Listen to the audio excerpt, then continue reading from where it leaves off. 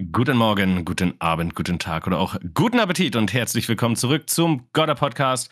Heute mit Akt Nummer 206 und wie ihr am Titel dieser Folge vielleicht schon sehen könnt, geht es heute um Sonic Superstars im mhm. wirklich großen Fokus. Natürlich, ja. Denn wir haben das Spiel 4 gespielt und werden euch natürlich ein Review dazu geben. Und wir Mhm. Das ist der Godder Podcast, ein Podcast, bei dem wir wöchentlich über Sonic und seine nervigen Superstars sprechen.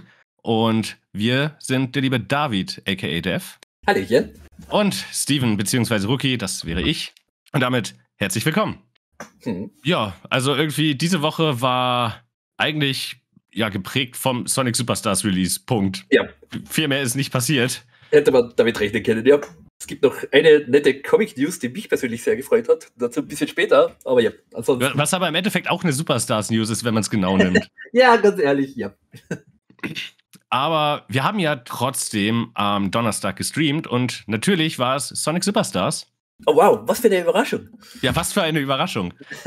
Wo wir dann mehr, zwischen den Charakteren ein bisschen hin und her gewechselt sind, äh, die charakterspezifischen Acts gemacht haben. Wir sind bis Cyberstation gekommen.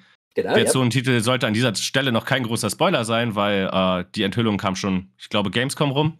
Genau, ja. Die sind schon länger bekannt. Deswegen hoffe ich, ich spoilere da jetzt nicht so viel und den Stream-Rückblick werden wir jetzt auch ein bisschen kürzer halten, weil da halt viele Spoiler drin sind.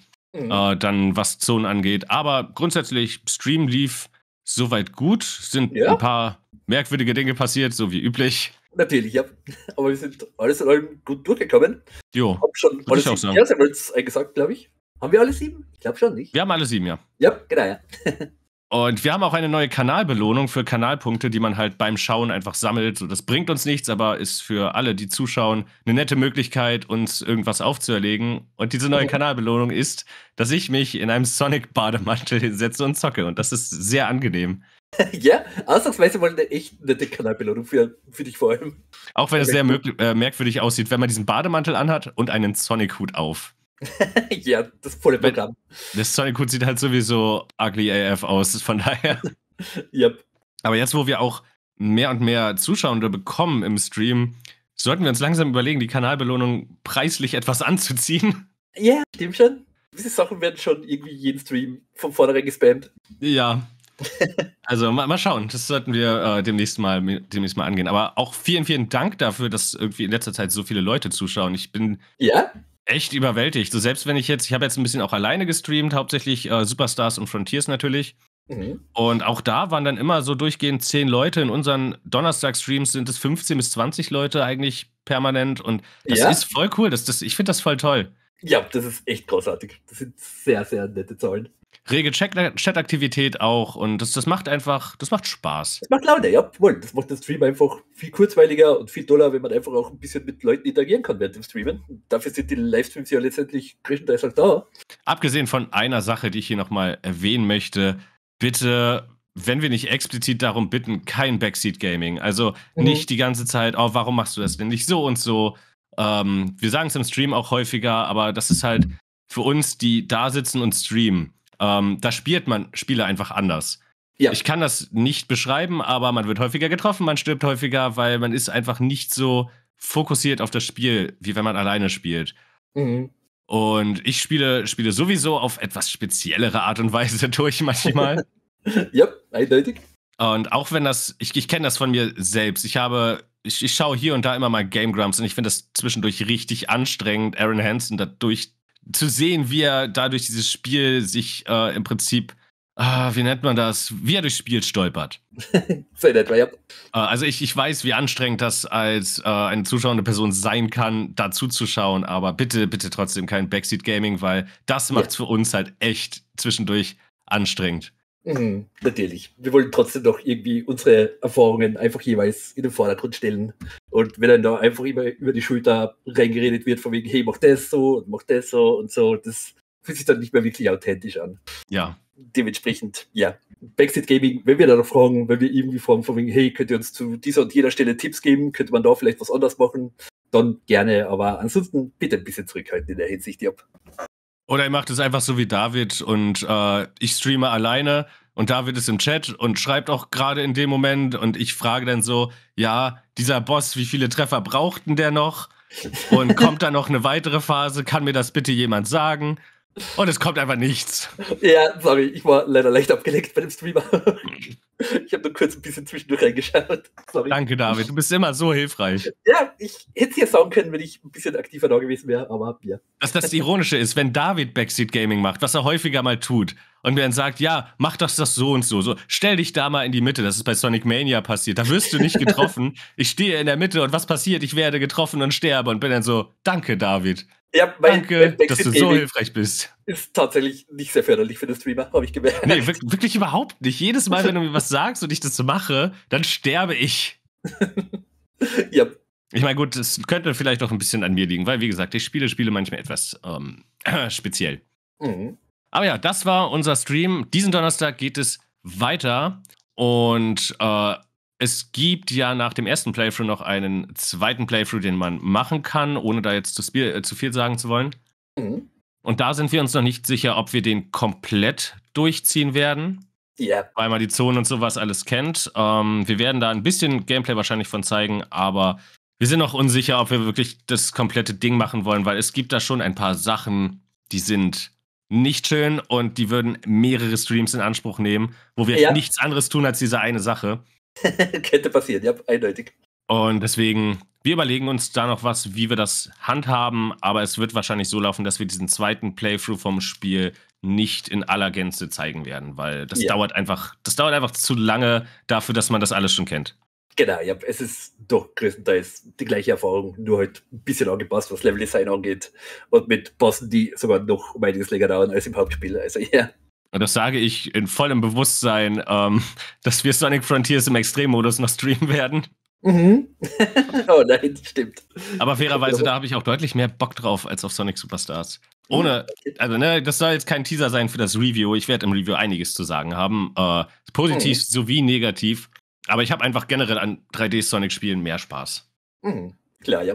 Und nee, warte, eigentlich, eigentlich stimmt das gar nicht. Ich habe super Bock gehabt auf Mania und auf äh, die Hälfte von Sonic Origins. Mhm. Ja, es ist halt einfach irgendwie, Superstars hookt mich nicht. Ich glaube, das trifft es ganz gut. Äh, mhm. okay, es ist ja. für mich kein schlechtes Spiel, es ist aber auch kein Spiel, wo ich jetzt eine super hype Zeit oder sowas drauf habe, weil ich, ich war auch nicht gehypt auf das Spiel. So, es ist halt, für mich ist das so ein Ding, es ist einfach da. Mhm. Aber mehr dazu später. Ja, mehr dazu später. Dazu mal ein kleiner Teaser, ja. Und keine Sorge, David hat wesentlich positivere Eindrücke. Ja, ich bin diesmal so ein bisschen das Gegengewicht, ja. Und das war's, wie gesagt, mit unserem Stream-Recap. Und äh, eine Sache habe ich noch zu berichten und das betrifft Sonic Dash. Mhm. Ähm, einfach nur, weil ich habe da mal drüber gesprochen, dass ich Sonic Dash äh, droppen werde, jetzt wo dieses Cards-Update draußen ist, was einfach furchtbar ist und eigentlich mit jedem Update nur schlimmer gemacht wird. Oh, ja. Yeah. Mm, und ja, jetzt habe ich auf der iOS-Version mir dann alle Achievements geholt. Das war so ein Ding, was, was ich noch machen wollte. Außer oh. dem Facebook-Login-Achievement, was noch da ist, aber man kann sich nicht mehr bei Facebook einloggen. Oh, cool. das ist immer toll. Und jetzt werde ich Sonic Dash halt ein, einfach an den Nagel hängen. Und ich werde ein bisschen, weil mir das Gameplay an sich halt immer noch Spaß macht, ich werde Sonic Dash Plus spielen, mhm. wo es auch mindestens doppelt so viele Achievements gibt, wo ich die ganzen Charaktere noch für freischalten muss. Aber das hat halt dieses furchtbare Cards-Update nicht. Das macht mir halt wirklich Spaß immer noch. Ja. Und das ist halt die Version, die exklusiv über Apple Arcade ist. Da werde ich auch noch alle Achievements jetzt holen. Und ich finde das sehr schade, muss ich sagen, weil Sonic Dash habe ich schon eine ja, etwas krank hohe Spielzeit. Mhm. So in meiner Android-Version, die ich mal auf 100% hatte. Mittlerweile, ich habe die letzten Events da ausgesetzt und das schon länger nicht mehr gespielt. Ähm, da hatte ich schon alle Achievements schon seit Ewigkeiten. Ja. Und ich habe äh, eine Total Gameplay Time von sechs Tagen. Ha. Äh, jetzt muss ich, müsste ich Mathe können, äh, mal gucken. 6 mal 24, 24 sind 144 Stunden. Holy moly, nicht schlecht. Und. Da, da, fehlen zwischendurch noch irgendwie zwei Monate, wo mir äh, hier Progress-Verlust äh, Verlust gegangen ist, ja, äh, verloren gegangen ist. Mhm. Und ähm, zwei oder drei Monate und äh, keine Ahnung, es ist im Endeffekt wahrscheinlich noch ein bisschen mehr, so wenigstens zehn Stunden. Mhm. Aber das ist eine echt hohe Zeit und äh, auf iOS bin ich jetzt bei einem Tag und elf Stunden, das sind 35 Stunden. Mhm. Und in Sonic Dash Plus äh, habe ich eine sehr ähnliche Spielzeit. Also ich habe Sonic Dash echt gemocht und echt krass viel gespielt. Mhm. Äh, Sonic Dash Plus hat gerade einen Tag und zehn Stunden. Wow, okay.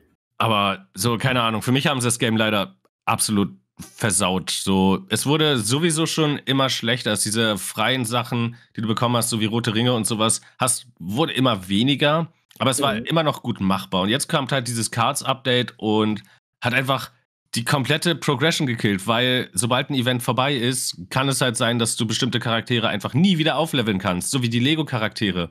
Ja. So hast du die nicht aufgelevelt bekommen, äh, wo du auch tausende Karten sammeln musst erstmal. Die wirst du nie wieder bekommen, weil sie nie wieder ins Spiel kommen und du kriegst diese Karten nicht mehr, weil es äh, Epic Characters sind. Ui.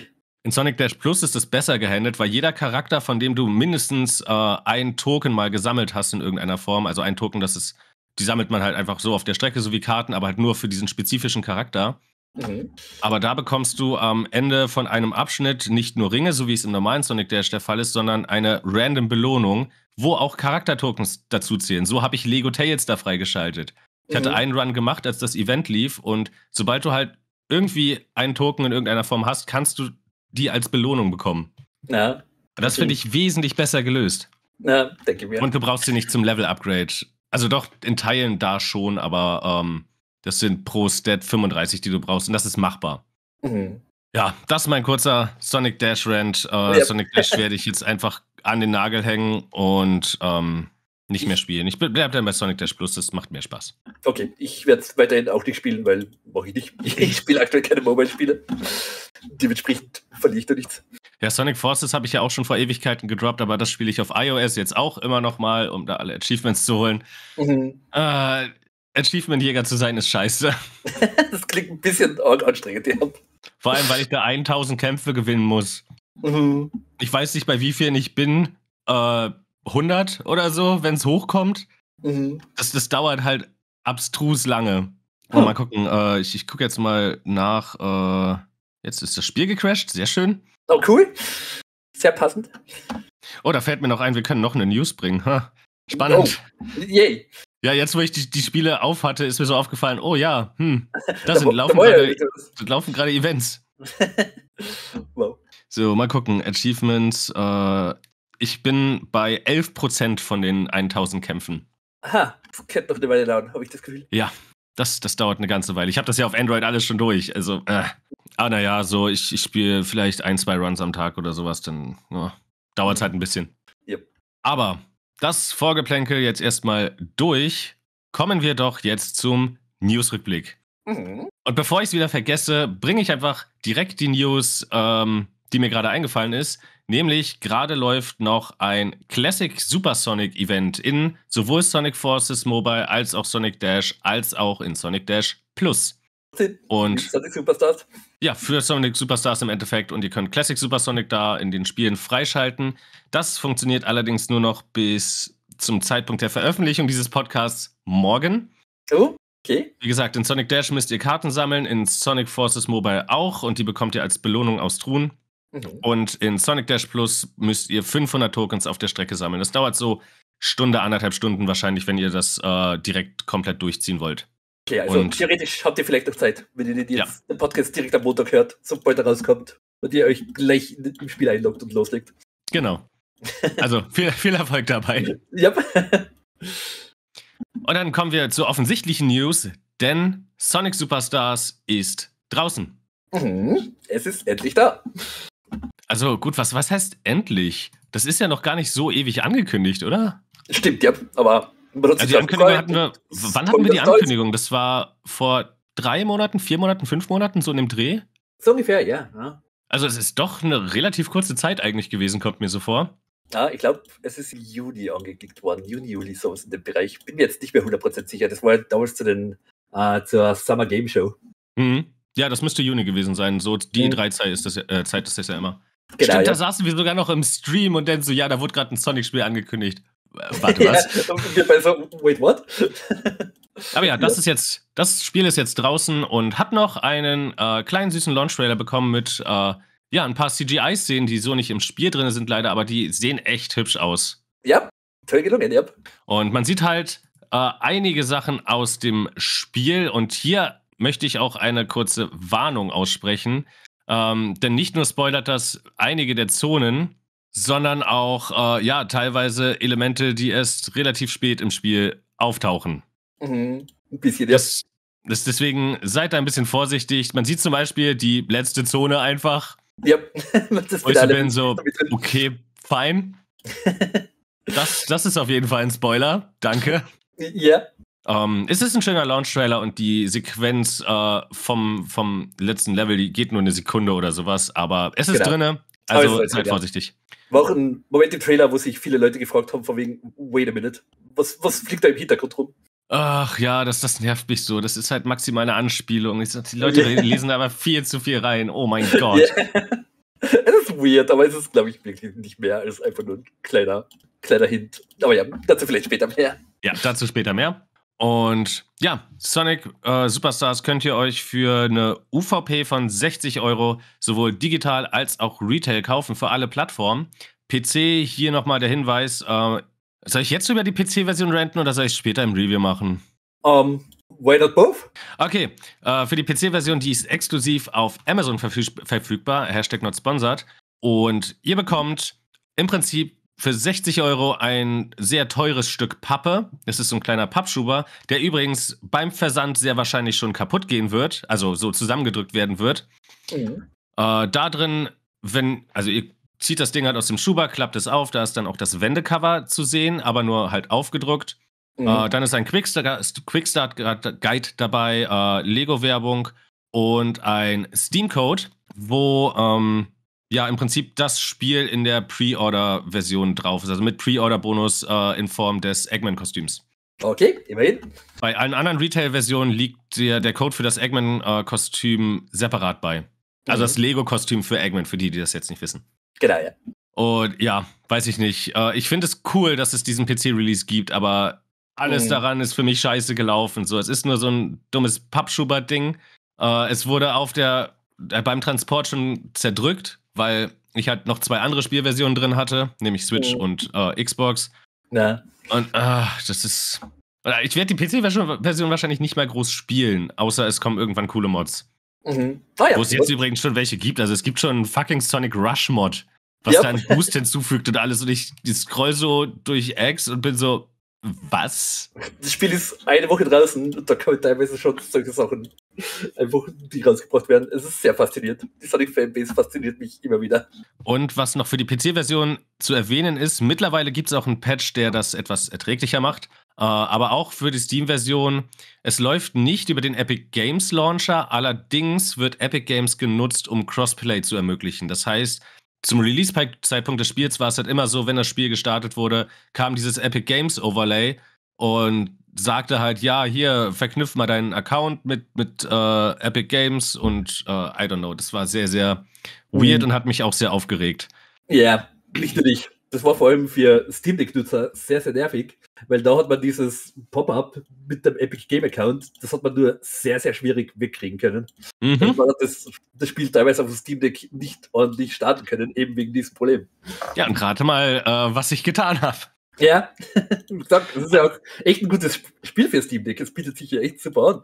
Aber dieses Problem mit diesem Launcher hat, das, hat den Release dann leider ein bisschen zunichte gemacht. Und das hat sich halt vor das Intro geschoben, vor das animierte Intro des Spiels. Mhm. So, das lief da einfach dahinter und dieser, dieser, dieses Pop-up deckt halt fast das ganze Ding ab. Das war echt, also PC-Version, sie haben das weg, ja, weggepatcht in Anführungsstrichen. Der Prompt kommt jetzt nur noch irgendwie einmalig irgendwann. Ich weiß nicht genau wann, ich habe es noch nicht getestet, aber. Ich schätze mal, wenn man in den Multiplayer rein will. Keine Ahnung. wahrscheinlich. Kann auch noch nicht nachschauen, ja. Also es ist halt äh, erträglicher geworden, aber naja, es ist äh, ja, trotzdem ein mal wieder gezeichneter PC-Release, weil da ist halt nicht nur das Denuvo DRM bei, sondern auch Epic Games DRM, wo ich mir denke, ja, warum kommt schon, Leute?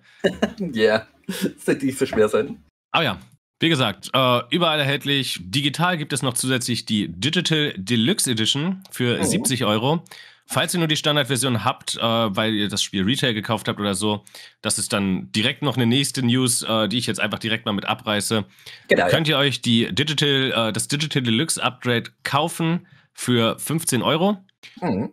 Und da ist dann äh, mit dabei der Rabbit Skin, die Lego Skins für Tails, Knuckles und Amy, ein paar Hintergrundbilder und mehr weiß ich gerade nicht. Ich glaube, das müsste auch gewesen sein. Ich glaube noch irgendwie was für den Multiplayer, so Roboterteile, glaube ich, sind da auch noch dabei. Aber könnte mich jetzt täuschen. Und auf Steam ist zumindest auch gelistet, dass die ähm, ja, Cartoon-Kostüme, die sind halt da. Äh, ich muss jetzt aber mal parallel checken, ob man die mittlerweile kaufen kann, weil das ging bisher nicht. Mhm. Äh, Moment, Sonic Superstars. Auf jeden Fall kann man aber den Amy-Skin kaufen. Ja. Äh, das Lego Fun Pack gibt es übrigens einzeln für 4,99, auch sehe ich gerade. Das Comic Book Skin Pack ist nicht erwerblich. Oh, immer noch nicht. Schade. Nee, sehr schade, weil das, das ist, sieht halt cool aus und das ist halt ja? exklusiv bei Amazon Japan gewesen, glaube ich. Mhm. Ursprünglich, ja. Ähm, aber ja, irgendwie äh, ist das halt nicht, nicht da. Mhm. Mal gucken, ob das noch irgendwann, irgendwann kommt. Ja, hoffentlich. Und ja, der Lego Sonic Skin ist als gratis DLC verfügbar auf allen Plattformen. Mhm. Also das ist nicht nur für Vorbesteller, der ist einfach für alle. Also Lego Sonic habt ihr quasi per Default da. Mhm. Und das reißt dann die News direkt ab vom äh, Upgrade von der Standard zur physischen Digital Deluxe Edition. Ja, man sollte vielleicht noch erwähnen, äh, wenn man sich die Digital Deluxe Edition im Vorfeld geholt hat oder halt nachher noch holt, dann kommt man tatsächlich ein bisschen billiger raus, weil das Upgrade kostet 15 Euro. Die mhm. Digital Deluxe Edition allerdings als extra dazu kostet nur plus 10 Euro, also 70 statt 60. Und dementsprechend, wenn man sich vorhat, irgendwie diese ganzen Sachen der Digital Deluxe Edition ebenfalls zu holen, dann sollte man von vornherein die Digital Deluxe Edition auch kaufen, weil im Nachhinein zahlt man einen Fünfer drauf. Im Grunde. Auch Finde ich aber, muss ich sagen, auch ein bisschen frech. Mm, ist auch nicht ah. ideal. Ich schmeiß den schon mein Geld in den Rachen und dann bezahle ich am Ende noch mehr. Ja, damit wollen sie halt irgendwie zum Kauf von der Digital Deluxe Edition von vornherein bewegen. Das ist ziemlich sicher der Beweggrund, weil im Nachhinein zahlt man dann noch mehr, wenn man diese Inhalte haben will. Aber ja, es ist ein bisschen, bisschen shady. Nicht sehr cool. Und was vielleicht noch äh, erwähnenswert ist, die Digital Deluxe Inhalte könnt ihr, glaube ich, nur mit dem Day One Patch ähm, dann auch spielen. Ich glaube, vorher sind die nicht verfügbar. Das war, Aber der, der One-Patch wird wahrscheinlich eh direkt mit den Inhalten runtergeladen, von daher sollte das keinen Unterschied machen. Ja, da war ich schon. Das war da voll mit meiner Review Edition tatsächlich. Da habe ich die ganzen Sachen auch erst zum Launch bekommen. Und wo wir schon, äh, oh mein Gott, David, was machst du da im Hintergrund? Sorry, ich habe gerade mein Kabel ein bisschen eingeklemmt. Ja, es wirkte gerade so, als wärst du vom Tisch abgerutscht. so laut? Oh mein Gott, mein Mikro ist viel zu sensibel aktuell. Ähm, ja, was den Day One Patch angeht, äh, den gibt es. Der hat ein paar Soundprobleme gefixt, die David letzte Woche mhm. äh, im, im, in seinen Ersteindrücken geschildert hat. Und äh, auch, dass es im Menü manchmal ein paar Einstellungsschwierigkeiten gab. Das war zumindest auf der PlayStation 4 der Fall, wo du gespielt hast. Ob auf anderen Plattformen, weiß ich nicht. Ja. Auf der Xbox ist mir auf jeden Fall nichts derartiges aufgefallen. Mhm. Das war ja das Problem, dass sich irgendwie äh, das Optionsmenü sich nicht gespeichert hat. Also selbst wenn ich da Sachen angepasst habe und dann ins Spiel zurück bin, äh, war es noch der Stand vor den Anpassungen. Das hat sich ständig zurückgesetzt. Mit dem Day One Patch kein Problem mehr. Man kann jetzt Sachen anpassen und ich habe endlich die Soundeffekte, die Lautstärke runterdrehen können. Und das Spielerlebnis ist um einiges angenehmer. Ansonsten ist nicht offiziell veröffentlicht, was in dem Patch alles drin ist. Äh, Leider, ja. Wir können nur spekulieren, sind wahrscheinlich ein paar Bugfixes und ja. Mhm. Genau, aber toll, und, dass da vor allem ein paar Sachen einfach gefixt worden sind, wo ich mir ursprünglich gedacht habe, vorhin, ja, yeah, das ist jetzt nicht ganz ideal. Vor allem die Soundprobleme, wie gesagt. Und eine letzte News haben wir noch zu Sonic Superstars und das ist das Reversible Cover, denn ja, jede physische Version hat ein ja, drehbares Cover, wo dann äh, noch ein sehr, sehr schönes Classic Sonic Artwork ist. Mhm. Sieht, und aus, ja. sieht, echt, sieht echt cool aus. Und das hat der Sonic Twitter natürlich auch auf Twitter veröffentlicht, um es äh, allen zu zeigen, so, hey, guckt mal, was wir Cooles haben. Ich mag an dem Artwork besonders, wie Classic Sonic einfach so ein bisschen die Sonic Adventure Pose macht. Glaub, ja, kanonisch wurde ja, kanonisch wurde ja jetzt enthüllt, es spielt zwischen Sonic Mania Adventures und Sonic Adventure. ja, ich schätze mal, macht Sinn. Und ja, das ist ein schönes Artwork. Ihr seht es wahrscheinlich als Thumbnail für diese Folge. Ja, wird sich auch bieten. Weil das normale Superstars Artwork haben wir schon und das letzte, letzte Woche war halt schon so ein Stück Text noch von dem Famitsu-Cover, weil ich will halt wirklich vermeiden, für mehrere Folgen dasselbe Cover-Artwork zu nehmen. Mhm, fair. Ähm, deswegen, ja, nehmen wir jetzt einfach das, das bietet sich gut an. Ja, sehr cool. Danke, Mr. Sonic Twitter. Yay. Oder Mr. Sonic X. Hm, ja, es klingt nicht so gut. Ich weiß nicht, ich assoziiere damit irgendwas, was nicht in allen Punkten wirklich äh, gut in der Fanbase ankam, aber hm. ja. Ich kann, ich kann mit dem Finger nicht drauf zeigen. Keine Ahnung, ja. es hat nie irgendwas gegeben, was Sonic X geheißen hat. Ich hab's alles verdrängt. Und um es hier nochmal erwähnt zu haben, bevor ich das Mikro an den David übergebe für die weiteren News, mhm. äh, wir haben uns explizit dafür entschieden, zwei News rauszuhalten, weil es noch Gerüchte sind und weil wir nicht wissen, wann genau wir da was sehen werden. Ja. Äh, einmal gibt es das Gerücht, dass ein erster Sonic the Hedgehog 3 Teaser an der Show East 2023 gezeigt werden wird. Also Sonic the Hedgehog 3 im Sinne von Sonic the Hedgehog Movie Film. 3. Der ja. Film, yep. äh, das ist dann am 23. Oktober, also heute, wenn ihr diesen Podcast äh, zum Release-Tag hört. Oh, tatsächlich, ja. Allerdings ist das wirklich mit Vorsicht zu genießen, weil ja. der Film kommt voraussichtlich im Dezember 2024 raus und wir wissen immer noch nichts über diese scheiß Knuckles-Serie. Oh mein Gott. ja, ähm, dafür, dass sie irgendwie 2023 rauskommen hätte sollen, wissen wir echt erschreckend wenig davon, leider. Ja, auf jeden Fall. Ähm, vielleicht kommt da ein Teaser, vielleicht nicht. Wir wissen es nicht. Und selbiges gilt auch für einen zweiten Teaser von Sonic Prime Staffel 3, der Abschluss der Serie dann. Mhm. Ähm, der kommt im Rahmen von der Netflix Geek Week scheinbar, die jetzt ich glaube, Anfang, ja. Oktober, Anfang Oktober so eine Woche laufen sollte. Das ist so ein digitales Event, wo halt Netflix-Medien geteased werden und halt immer wieder mal so Trailer und andere Sachen eben einfach veröffentlicht werden. Ja, aber die war doch schon, da haben wir doch den Teaser bekommen, über den haben wir sogar gesprochen, David. Äh, nee, nee, das war ein anderes Netflix-Event. Das war das Netflix, boah, keine Ahnung, wie das doch geheißen hat. Aber, aber das wenn das Anfang Oktober stattfinden soll, dann war das trotzdem schon.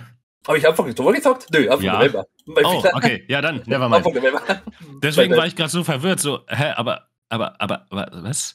du hast mir das vorhin so als neue News verkauft und jetzt kommst du, ja, die soll, sollte Anfang Oktober stattfinden und dann bin ich so, Moment, das hatten wir schon. Okay, my bad. Natürlich, Anfang November kommt diese Netflix Geek Week. Ja, okay, dann ergibt das mehr Sinn. Aber auch da wissen wir keine genauen Details. Wir wissen nicht, ob wir das direkt zu Gesicht bekommen werden. deswegen haben wir es jetzt im Newsrückblick eben nur so als kleine Erwähnung drin, aber auch nicht irgendwie genau. in den Shownotes dann äh, verlinkt oder sowas.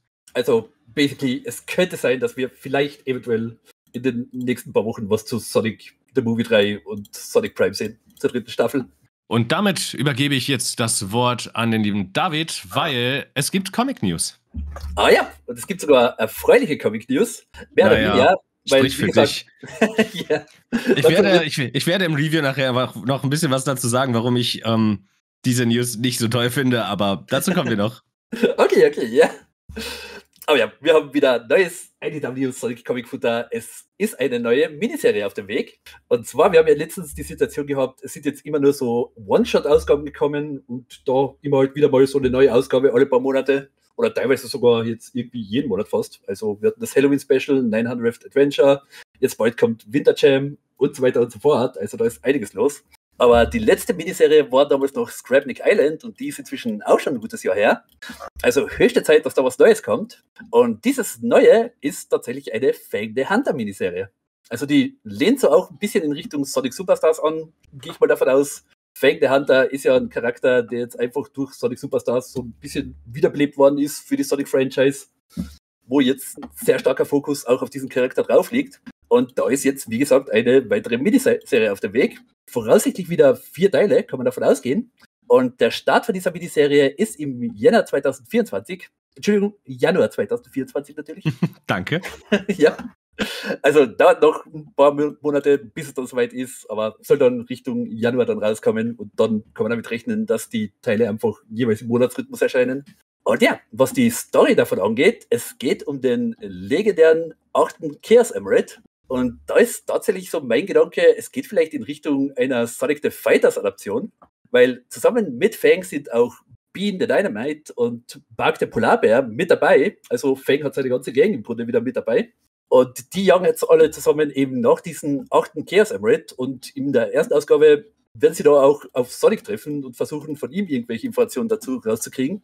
Also könnte eine ziemlich interessante Ausgabe werden, auf jeden Fall eine ziemlich interessante Miniserie, weil es wirklich in Richtung, wow, es gibt theoretisch den 8. Chaos Emerald, das war damals in Sonic the Fighters auch ein bisschen weird. Mhm. Ist jetzt nie, nie erklärt worden, aber es war damals der Fall. Und diese Miniserie will darauf wirklich eingehen und das finde ich eine echt nette und clevere Idee. Und ja, geschrieben wird die Miniserie von Ian Flynn und gezeichnet von Mauro von Senka. Und wir haben auch dann drei Cover schon erhalten, eben von dieser ersten Ausgabe. Nämlich Cover A, Cover B und Retail Incentive Cover. Müssten schon alle drei sein. Also es kommen da noch vielleicht ein paar Online-Exclusive Covers eben zum Start dieser Miniserie. Ah ja, in Cover A haben wir einfach mal Fang, Bark und Bean gemeinsam in dem coolen Artwork. Im Hintergrund 1, 2, 3, 4, 5, 6, 7 Chaos Emeralds und in der Mitte noch scheinbar ein weiterer Chaos Emerald. Allerdings im alten Design, wie man es aus den Classics kennt. Keine Ahnung. Mhm. Noch sehr mysteriös. Aber ja, ist das nicht, ist das wirklich das alte Design oder ist das einfach der Emerald von oben? Könnte auch sein. Das könnte auch der Emerald von oben so, sein. So habe ich, so hab ich das in den alten Spielen in Sonic 1 besonders äh, immer gesehen, dass wir den Emerald einfach von oben sehen, was sinnvoll ist, wenn man die Special Stages anguckt. Ja, Ganz ehrlich, ja. Könnte auch gut sein. Aber ich weiß nicht, wie es ist. Also, das ist jetzt nur so immer meine Observation eigentlich gewesen. Mhm.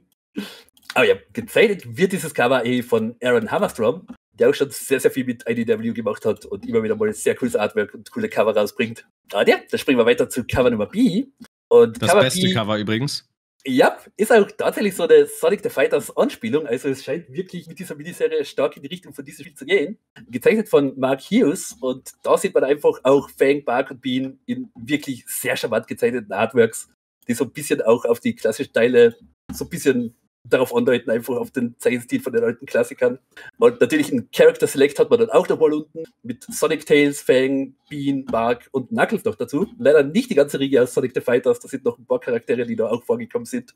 Aber wer weiß, vielleicht auch die da auf im Laufe, Laufe dieser Miniserie auf. Hatten, hatten wir im, im, in den Archie Comics tatsächlich auch. Mhm. Also da hatten ja. wir quasi die ganzen Sonic the Fighters Charaktere äh, in der äh, Shattered World Saga hatten wir drin. Ich glaube, ja. Größtenteils. Ja, das also ist auch so eine. Hm? Ich, ich, glaube nur Fang hieß dann Neck, oder? Oh, ich weiß es leider nicht mehr. Ich glaube, er hat in den Archie Comics auch größtenteils Fang geheißen. Ich bin mir nicht mehr sicher, es ist so lange her. Aber rede mhm. mal weiter, denn ich habe die ja, ich habe die ja alle digital, ich kann ja einfach nachgucken. Aha. Oh ja, schau mal rein. Das war damals die, dieser Battle Tournament Arc, Champions Arc, glaube ich. Ich glaube, Champions Vierteiler hat er geheißen. Naja, das, was, das, was ich meinte mit äh, Fang Nack und äh, Bean, war äh, Sonic Universe. Oh, natürlich. Da war sie der, auch der Knuckles, äh, die Knuckles-Saga. Genau, ja, da war sie auch mit dabei.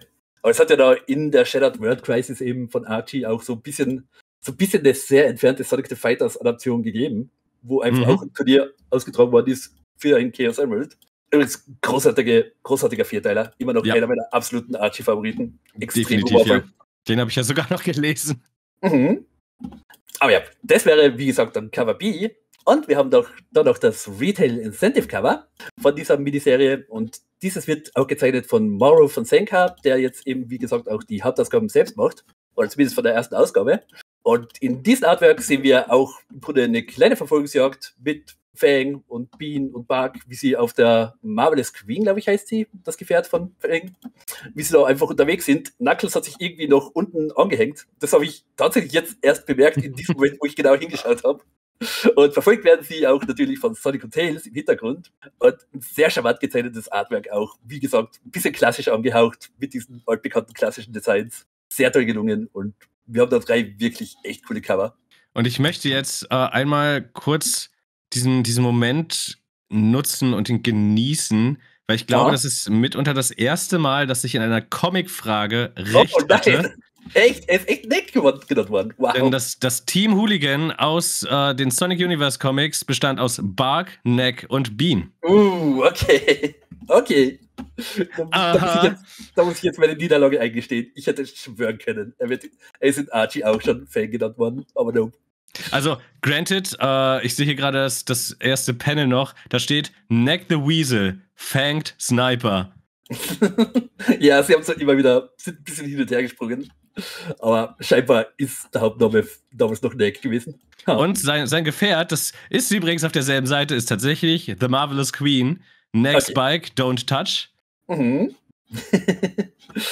nee, das ist, äh, also ich, ich hatte halt so eine Ahnung, weil ich diese, äh, die Reihe mit, äh, also die Sonic Universe Miniserien mit äh, Knuckles und Shadow, die äh, mhm. im Rahmen der Shattered World Crisis passiert sind, die fand ich halt unfassbar gut.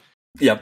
Deswegen, äh, da, die habe ich auch mehrfach gelesen und sowas. Und in meinem Kopf war das so, nee, da hieß doch Neck, weil der Name Fang kam dieses Jahr so neu und komisch vor. Mhm. Ah, ja. Okay, wow. Yep. Kann ich wenigstens einmal in, diesem, in meinem Leben recht haben gegenüber dir, was die Comics angeht. Ja, da musste ich eine Bese fressen. Das war wirklich, habe ich mich nicht mehr richtig erinnert. Ah, ah ja, ja, das sind im Prinzip schon unsere News, oder? Ja, also wie gesagt, ich freue mich auf die Miniserie. Finde es cool, dass wir wieder einen Vierteil haben, auch im Haben wir schon einen Release-Termin? Äh, wie gesagt, Jänner 2000. Ach stimmt, das war ja die Sache, wo, wo du Jänner gesagt hast. Ja, jetzt wieder übrigens. Ha. Ah ja, bin gespannt drauf. Find's cool, dass wir jetzt wieder eine Classic, Classic-Reihe Miniserie haben, einfach mit den ganzen Classic-Charakteren. Das 30th Anniversary Special ist ja auch schon wieder eine gute Weile her. Ich glaube, das war das letzte Mal, dass wir. Ja, ist ja nicht so, als hätten wir noch ein Tails Special gehabt und ein Amy Special gehabt und ein Knuckles oh. Special. Ja, okay, stimmt. Die waren auch noch. die habe ich So was ist ja alles nicht passiert. Also bleiben wir so, dass es nur das 30th Anniversary Special war. Das war das letzte richtig große Special mit mehreren Charakteren und so. Es zählt. Ah, Sonic Mega Drive Overdrive. Ah, das war so schön. Wir haben nie die, den dritten Teil bekommen, weil das mit in die Archie-Einstellung gefallen ist. Mm. Sehr traurig. Naja. Dafür werden wir jetzt mit Classic Sonic überall sonst zugeschissen. Also, naja. Oh mein ja. Gott, das klang jetzt negativer, als ich es gemeint habe. So negativ war das echt nicht gemeint. Nein, es ist eigentlich toll, weil auch das Classic-Universum von der Franchise ist sehr charmant und einfach toll, dass da ein paar Geschichten drüber erzählt werden. There are no plans to bring, black, uh, bring back Classic Sonic after Sonic Generations. ja. Das hat sich mal sehr schnell geworden. Uh, das, das ist halt wirklich extrem schlecht gealtert. Holy shit. Ja. Eindeutig. Ah, nee, ist cool, weil, wie gesagt, gerade Charaktere wie Neck, Bean und Bark, die dürfen ja unter Anführungszeichen im modernen Universum der IDW Comics aktuell nicht vorkommen, auch wenn Ian Flynn nach wie vor versucht, sie irgendwie reinzubringen, glaube ich. Aber Sega ist, steht da ein bisschen auf Tour.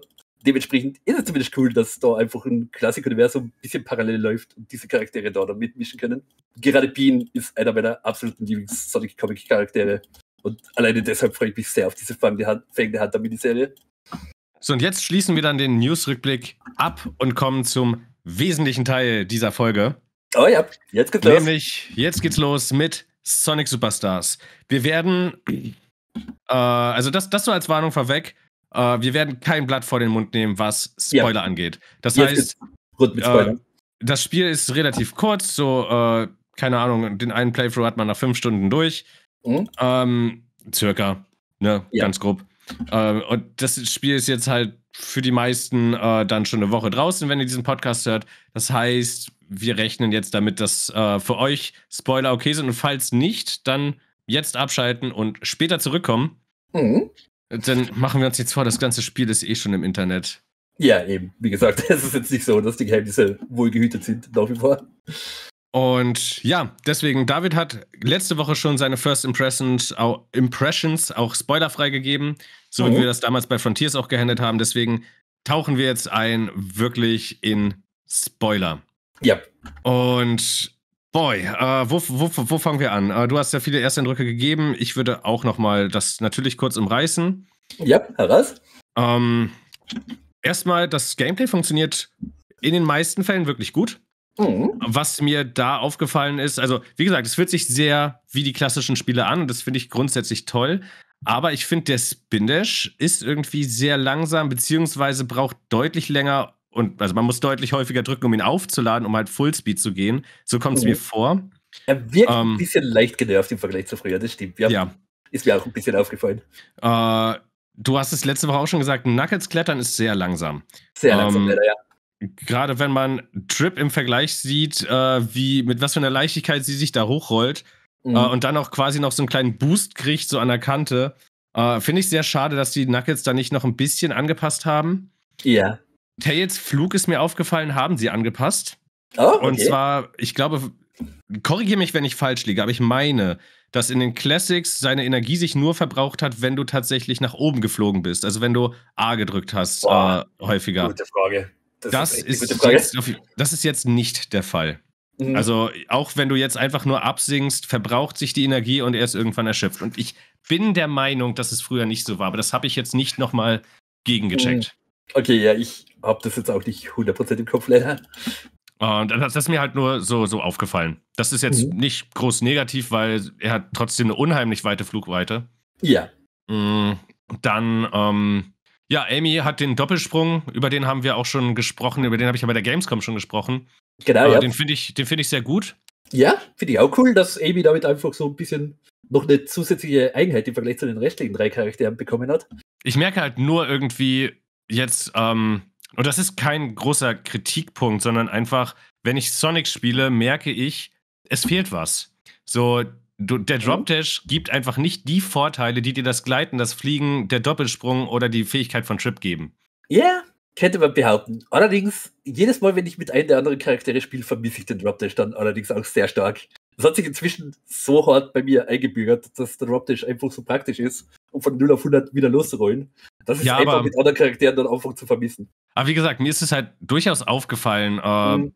dass irgendwie der Drop Dash einem nicht das gibt, äh, das, und das war bei Sonic, Sonic, Origins nicht der Fall, muss ich dazu sagen, weil Amy da keinen Doppelsprung hatte. Mhm. Jetzt hat sie aber den Doppelsprung und ich denke mir so, okay, das ist jetzt aber was, was eigentlich, so jetzt hat jeder Charakter irgendwas, was ihn besser macht als Sonic. Okay, abgesehen davon, Knuckles hat nicht so die Sprunghöhe beispielsweise. Ähm, yeah.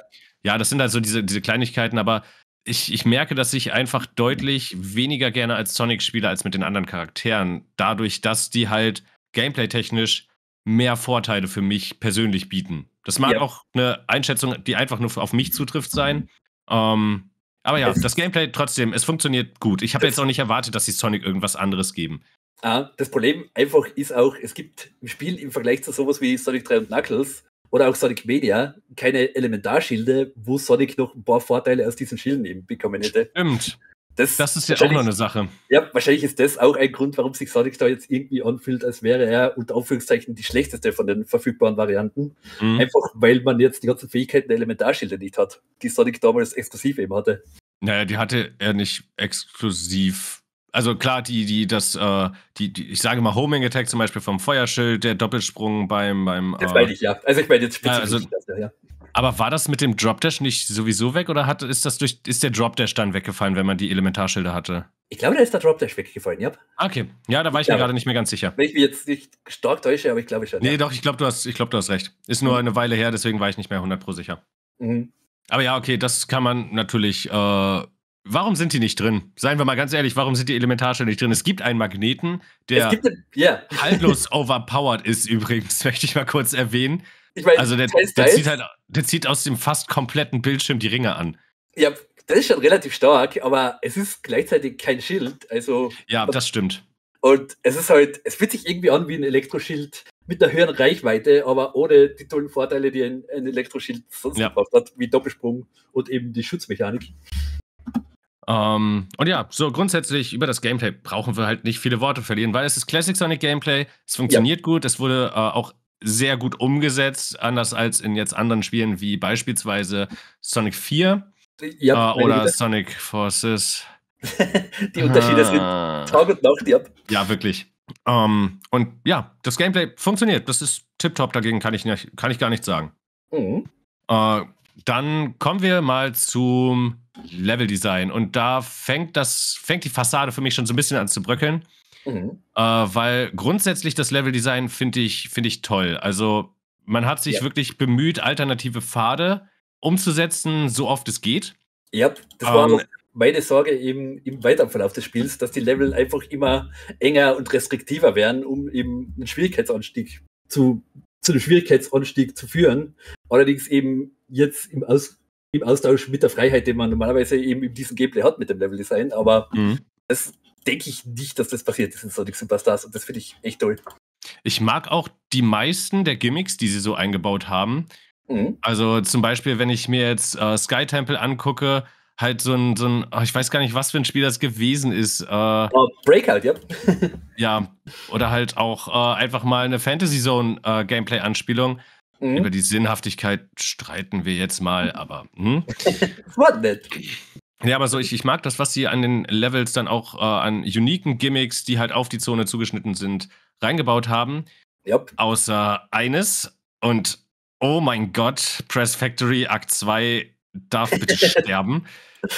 Yay, wir machen jetzt einfach einen Sendopolis-Counter, allerdings mit Insta-Kill-Mechanik, wenn die Zeit vorbei ist. Und was auch in Press Factory gewesen ist, äh, super tightes Platforming, was mir an sich nicht schlecht gefällt. Mhm. Aber diese sich drehenden Bälle, an äh, denen man sich dann hochschießen muss und sowas, Ja. Äh, die haben, bin ich zumindest der Ansicht, anders funktioniert als in Mania, weil in Mania hast du deinen Stick einfach die ganze Zeit gedreht, um so dich zu positionieren, wie du es brauchtest. Jetzt Mhm. musst du den Stick in eine bestimmte Richtung halten und dann positioniert sich Sonic automatisch so, dass diese Richtung zutrifft. Aha. Also ich, ich habe es nicht nochmal nachgetestet, das wollte ich eigentlich vor Ja. diesem Review machen, aber dadurch, dass ich da überhaupt nicht mit klargekommen bin äh, für meinen ersten Playthrough, aber Mania vor kurzem gespielt habe, wo ich gar keine Probleme damit hatte, Mhm. gehe ich schon stark davon aus, dass sie das geändert haben. Ja, ich bin mir echt absolut nicht sicher. In meinem Fall war es wirklich so, dass Mus Muscle Memory bei diesen Sphären einfach gekickt hat in Sonic Superstars und die für mich dann absolut kein Problem waren zu navigieren. Bei mir halt gar nicht. Das ist so das, was mich Ja. wundert. Ich, das Ding ist halt, ich weiß nicht, ob das jetzt einfach daran liegt, dass ich die Mechanik sehr schnell einfach an sich durchschaut habe oder weil es jetzt eins zu eins aus Sonic Media schon war. Kann ich nicht 100% sagen, aber ich habe mit denen tatsächlich keine großen Probleme gehabt, ja. Ja, wie gesagt, ich äh, im ersten Playthrough hören, jetzt weiß ich, wie sie funktionieren. So, jetzt ist das für mich fein. Mhm. Aber beim ersten Playthrough war das nicht so fein und dadurch bin ich auch sehr oft da gestorben. Wie gesagt, ja, in dieser Zone hat man ja mit den Dingern ein ziemlich heftiges Time-Limit. Ja. Ähm, ja, und wie gesagt, so grundsätzlich über das Leveldesign kann ich auch nicht viel meckern. Also das grundsätzliche Leveldesign, weil ich mochte Ja. eigentlich alle, alle Gimmicks, die sie so drin hatten, mochte ich sehr gerne. Was Standard. ich aber zu den. Sorry, ein Standout-Gimmick auch die letzte Zone. Die ist so Ja. clever. Aber da, da, da, da komme ich später noch zu tatsächlich. Also Ah die okay, letzte. Zone würde ich ein bisschen gesondert betrachten, weil, naja, das, das ist schon sehr speziell und da würde ich ein bisschen weiter ausholen wollen. Okay, ja. Ähm, was mir allerdings richtig auf die Nerven gegangen sind, ist alles, was äh, so an Crushern da ist. Es Ja, ist ja. so oft passiert, dass ich nicht Oh, ja. gecrushed wurde, sondern ich war dann halt am rechten Rand, das Ding crusht nach unten und sobald irgendwie, äh, und ich habe nicht mal Richtung gedrückt oder sowas, aber sobald dann irgendwie der Spalt frei war, wo man langlaufen würde und ich stand ganz rechts, war ich tot. Das ist Ja. mir wesentlich häufiger passiert, als ich es gerne zugeben möchte. Also die Hitbox ist, glaube ich, eine kleine Zehenspitze. Das ist mir auch ein paar Mal Ja. schon passiert, ja. Und das, das ist, das ist Kacke. Ich hasse Ja. das. das. Und das ist in Classic, äh, in Sonic Origins ist das genauso ein Problem gewesen und in Sonic, Sonic Mania Mania, ja. auch. Und ach, wieso kriegen sie das nicht hin? So, ich stehe doch nur am Rand und das Ding fällt runter und ich, ich, ich drücke nichts, aber sterbe dann einfach. Mhm. Ah ja, das ist ein Problem. Wie gesagt, Crusher in Sonic Gameplay. Also Classic Sonic Gameplay vor allem. Keine Ahnung. David, mach mal dein Handy bitte aus. Oh, sorry, ja. Das war sehr laut. Ähm, und das Enemy Placement ist an sich okay, aber in Teilen habe ich mich wirklich an Sonic 2 zurückversetzt gefühlt, was so ziemlich eines der schlimmsten Enemy Placements in der Classic-Reihe hat. Teils, teils, ja. Also, Ja, ist also es ist, passiert. ist nicht das ganze Spiel über, das schon mal als Positives, aber es gibt so den einen oder anderen Act. Äh, ich habe da gerade Sky Temple Akt 1, äh, gab ja nur einen Akt, äh, Sky Temple im Kopf, wo es mir wirklich auf die Nerven gegangen ist, äh, wie einige Gegner da pla- platziert waren. Speed Mhm. Jungle Akt 2, Ja. äh, absolut grauenvoll. Oh ja, besonders, besonders wenn man mit Trip spielt. Ja. Und die Dunkelheitspassagen auch, wo man eh von vornherein nicht gar so weit nach vorne sieht. Und äh, das sind halt so, da sind ein paar Acts einfach im Spiel, wo das Enemy Placement furchtbar ist. Ja. Das Äh, passiert- ist, ist leider einfach so. Es passiert nicht so hart konsistent für mich, dass es jetzt ein riesiger Kritikpunkt wäre. Da habe ich aus Sonic the Hedgehog 2 weiter schlimmere Erfahrungen und auch ein paar Ja, ja, ja, das stimmt. Teile. Aber ich Aber möchte es trotzdem als Kritikpunkt gerne, gerne anmerken. Es passiert, das kann ich auf jeden Fall auch unterstreichen. Also manchmal rennt man einfach nach vorne und rennt in den Gegner rein, den man fast gar nicht kommen hat sehen. Ein Standout-Level-Gimmick, was ich übrigens noch äh, anmerken möchte, ist auch Press Factory Akt 1. Ah ja, Das, großartig. Also das habe ich echt geliebt, wie man damit auch gespielt oder wie man damit spielen konnte, äh, weil für die, die das jetzt noch nicht gespielt haben, äh, im Mhm. Hintergrund sieht man halt so eine gigantische Presse und immer wenn die runterfällt, fliegt man selbst plus einige Objekte äh, nach oben. genau, Und ja. das fand ich echt cool gemacht. Das hat mir Ja. wirklich Spaß gemacht, das Level. Der war clever, weil einfach der Hintergrund von dem Level hat irgendwie auf das Level selbst einfach eine Auswirkung gehabt. Und das hat man in dem Spiel sehr selten, was ich schade finde, weil es einfach eine echt clevere Idee ist. Und Mhm. das war einfach wirklich ein Standard-Akt, was das angeht. Weil sie da wirklich einfach eine echt clevere Idee gehabt haben und die im Level-Design wirklich gut umgesetzt haben. Ist auch einer meiner Lieblingsacts im ganzen Spiel tatsächlich. Ja. Und dann kommen wir jetzt mal zum Elefanten im Raum, nämlich die Äh, Egg Factory, nee. Äh, wie, Egg wie hieß die Fortress? letzte Zone? Egg Fortress Zone, genau. Mhm. Nicht zu verwechseln mit Final Fortress, weil das war scheiße. Ja.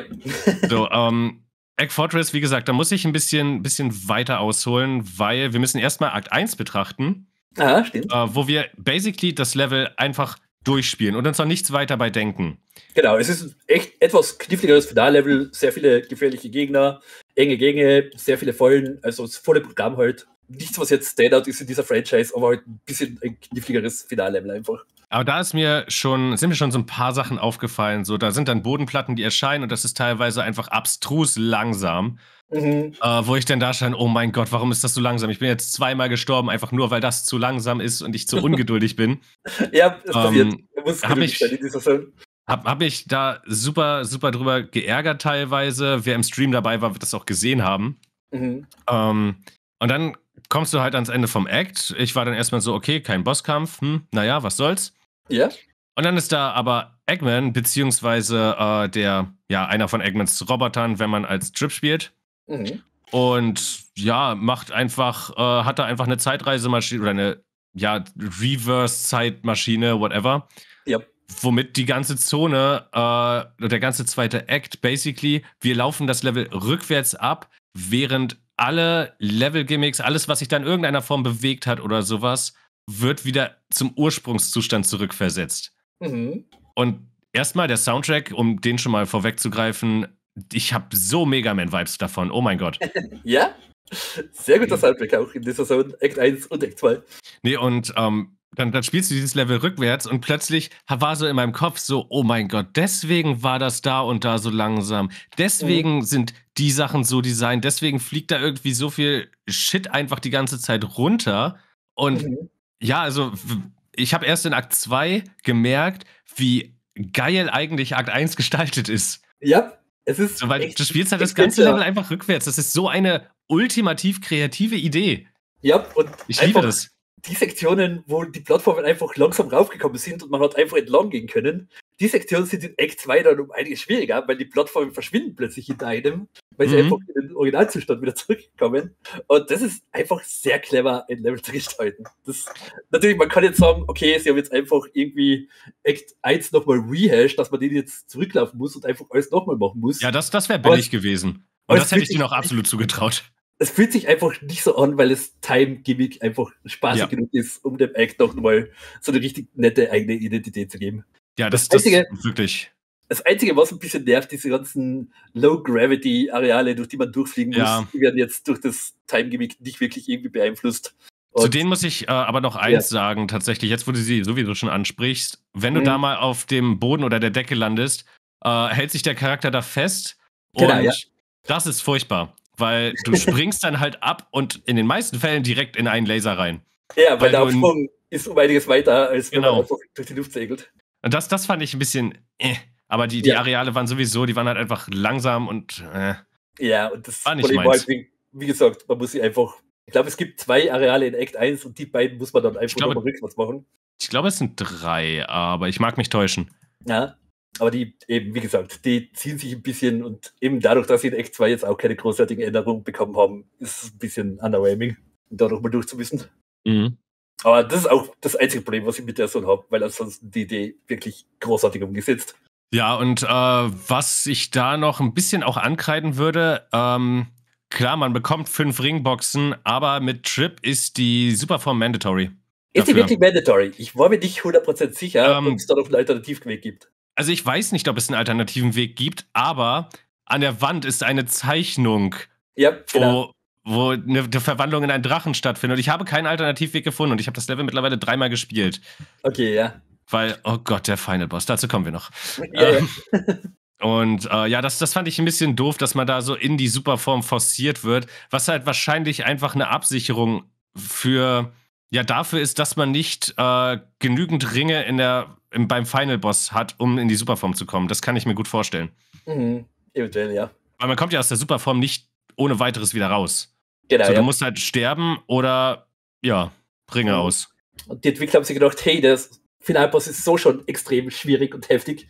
Da in die Superform wechseln, das wird den ganzen Kopf ruinieren, also geben wir den Spielern das einfach nicht. Ja, äh, übrigens, was ich erwähnen muss, äh, besagten Final Boss mit Trip habe ich noch nicht fertig. Mhm.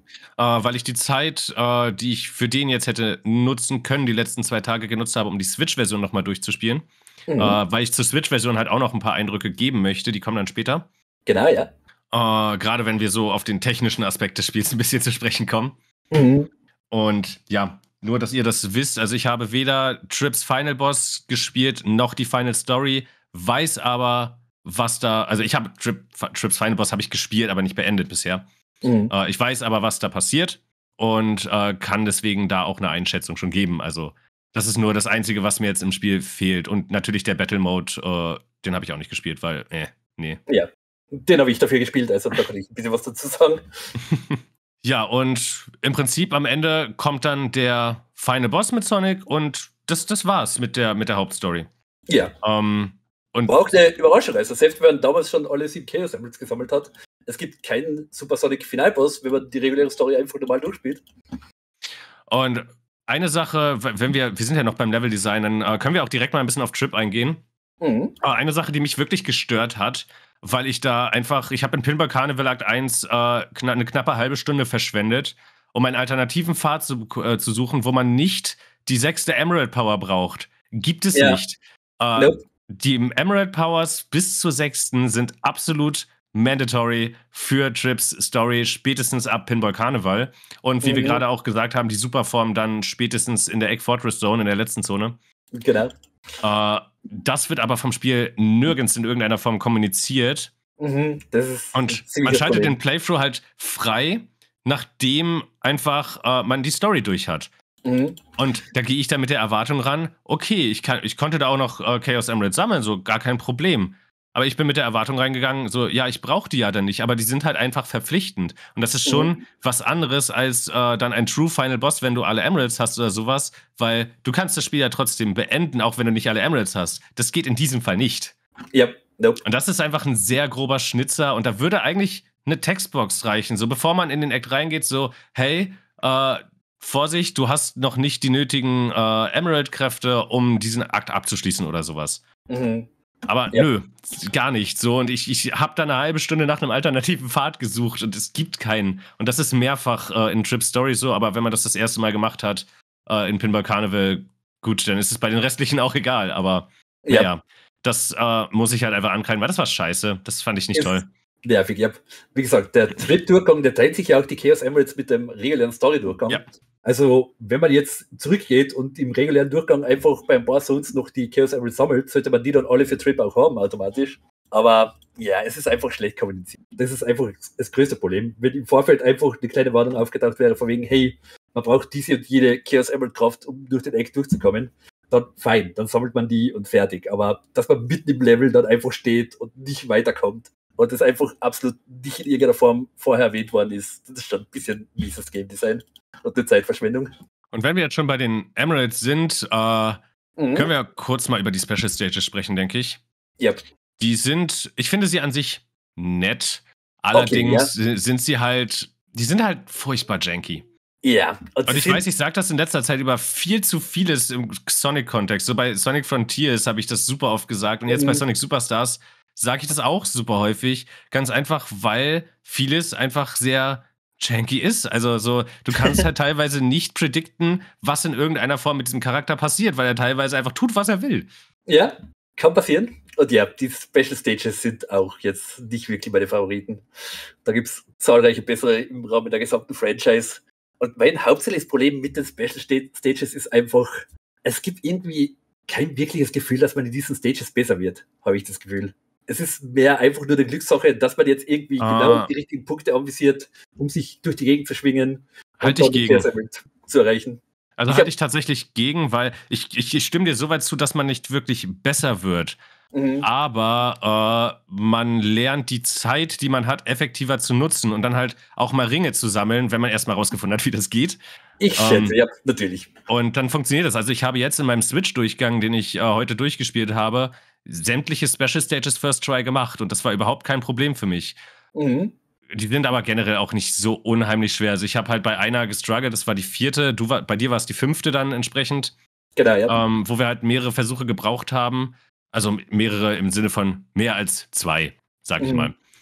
Äh, aber ansonsten finde ich die schon sehr einfach. Ja, keine Ahnung. Ich habe irgendwie das Gefühl, und ich glaube nicht, dass das der Fall ist, aber ich habe irgendwie einfach das Gefühl, ich habe die Special Stages noch nicht richtig kapiert, um sie einfach so optimal wie möglich zu spielen. Also, was ich als und, Tipp geben kann für alle, die da vielleicht auch ein bisschen mit strugglen, ähm, ja, die, die goldenen äh, Dinger, wo man sich festhalten kann, die geben jeweils drei Ringe.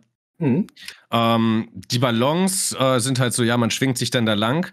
Bei den Bomben, äh, mit denen ist man wesentlich schneller unterwegs, weil man auf die Bomben direkt zufliegt und wenn man kurz bevor man da ist, einfach den A-Knopf loslässt, dann fliegt man einfach noch ein Stück nach vorne und wird nicht von der Bombe getroffen. Genau, ja. Ist, also das, die Bomben sind nicht zwingend ein Hindernis, die können auch eine Hilfe sein.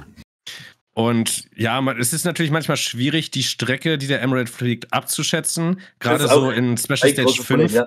Aber wenn man sich die Zeit nimmt und wirklich Ringe sammelt am Anfang, ähm, dann hat man auch die Zeit, da ein bisschen zu beobachten und einfach die Richtung, wo der Emerald gerade hinfliegt, die zu schneiden. Also wenn er halt nach rechts fliegt, dann musst du halt weiter nach rechts. Klar, ja, das, aber das, ist, das halt ist, halt, es bringt nicht unheimlich viel, das will ich gar nicht sagen, aber mhm. es hilft schon auf Dauer sehr. Und äh, ja, es, ich finde die halt nicht so unheimlich schwer. Es hängt davon ab, ob der Autolocker natürlich auch mitspielt, was das angeht. Weil der Autolocker ist in diesen ja. Stages auch ein bisschen ein Problem, dass man theoretisch Janky. jetzt es ist einfach ein bisschen jank, weil man will irgendwie in die Richtung schwingen, aber der Autolocker nimmt einfach den Ballon irgendwo an der Seite ins Visier und man schwingt sich dann stattdessen komplett auf die andere Seite vom Chaos Emerald und es, es passiert einfach, weil, wie gesagt, man hat keine Möglichkeit, diese Lockern zu wechseln. Es passiert automatisch, je nachdem, in welcher Position der Charakter gerade ist. Ja. Halt Oder auch, auch teilweise gar nicht und dann fliegst du halt ja, komplett runter, obwohl ja, eigentlich normalerweise er das Ding anvisieren müsste, weil du einen Millimeter daneben bist. Aber der Lockern ist halt so, Nee, das Ding müsste jetzt einen Millimeter weiter vorne sein, weil es ist ja nicht in Sonics Blickfeld. Oh nee, das, das greife ich jetzt gar nicht. Ja. Habe ich jetzt gar keinen Bock drauf. Ah, so oft passiert. Ja, also keine Ahnung. Ich, finde die Special Stages nicht jetzt in irgendeiner Form grauenhaft schlecht oder so. Aber sie sind einfach irgendwie, ey, eh, sie sind einfach ein bisschen mechanisch, mechanisch einfach ein bisschen langweilig. Es ist ein nettes Gimmick, wenn man so startet, aber wird irgendwie nicht allzu viel damit gemacht, auch für die weiteren Special Stages im Grunde. Das ist ja noch was, was ich auf der Gamescom gesagt habe, so, dass das Konzept halt super nett ist und ich glaube, das kann viel Spaß machen, wenn sie halt ja, darauf eben aufbauen und das irgendwie über die Stages halt schwerer machen, weiterentwickeln, aber tun sie nicht. So, es, kommen, es kommen neue Gimmicks dazu, wie dann irgendwelche Kristallwände oder Bomben und whatever. Aber am Ende ist es genau es dasselbe, was du in der gleich, ersten Stage schon machst. Genau, ja. Ohne wirkliche Weiterentwicklung, ohne dass es halt nennenswert schwerer wird, weil das ist halt so, Sonic Mania hat auch in jeder Stage dasselbe gemacht und hatte in jeder Stage dieselben Gimmicks, aber es wurde halt schwerer. Mhm. Und jetzt wird es nicht schwerer, da ist halt, sind halt nur mehr Objekte.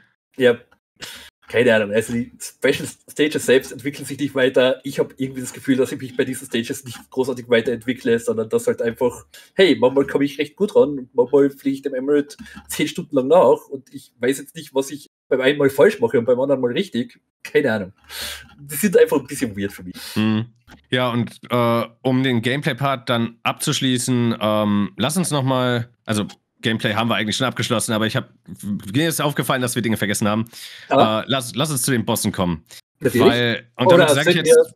Kleiner Vorschlag, ja? sollten wir kurz nochmal die Emerald-Kräfte erwähnen, weil wir jetzt gerade von Special Stages. Oh, müssen wir.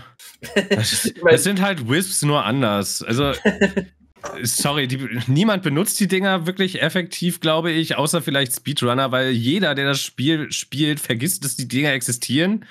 das Und die meisten sind halt einfach auch komplett useless.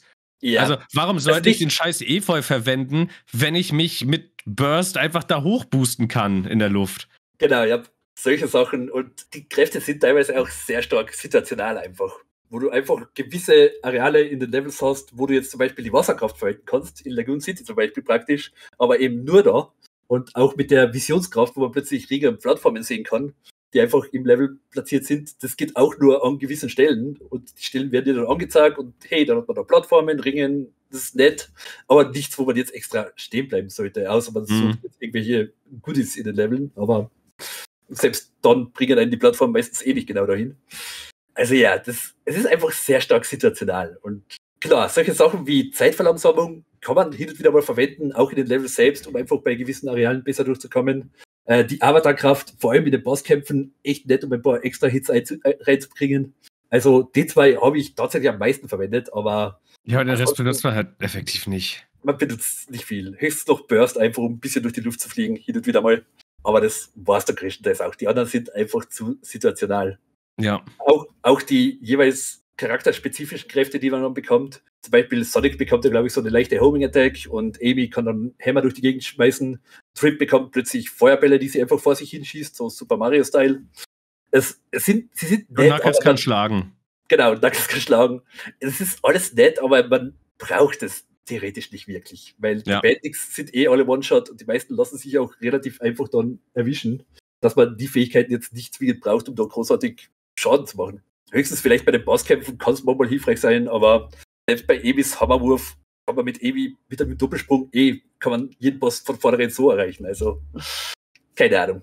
Die Emerald-Kräfte ist an sich, sie sind eine nette Ergänzung an sich, aber ich wünschte, sie wären teilweise ein bisschen praktischer umgesetzt, einfach, dass man einfach mehr angehalten wird, sie zu benutzen. Ja, für mich ist es halt einfach, für mich sind es halt einfach Wisps in nutzlos. Mhm. Weil man sie einfach nicht braucht. Ja. Außer das Spiel forciert dich, sie zu benutzen. Eben, das ist das Ding. Es ist großartig, dass die Emerald-Kräfte optional sind, weil das ist einfach das Nervige auch an den Wisps hin und wieder mal gewesen, dass man gewisse einfach gebraucht hat, um im Level jetzt weiterzukommen. Und dass das in Sonic Superstars nicht der Fall ist, war im regulären Durchgang echt schön und wird dann komplett ruiniert von Trips Durchgang, wenn man sie dann plötzlich drauf braucht, zumindest sehr wenige zwischendurch.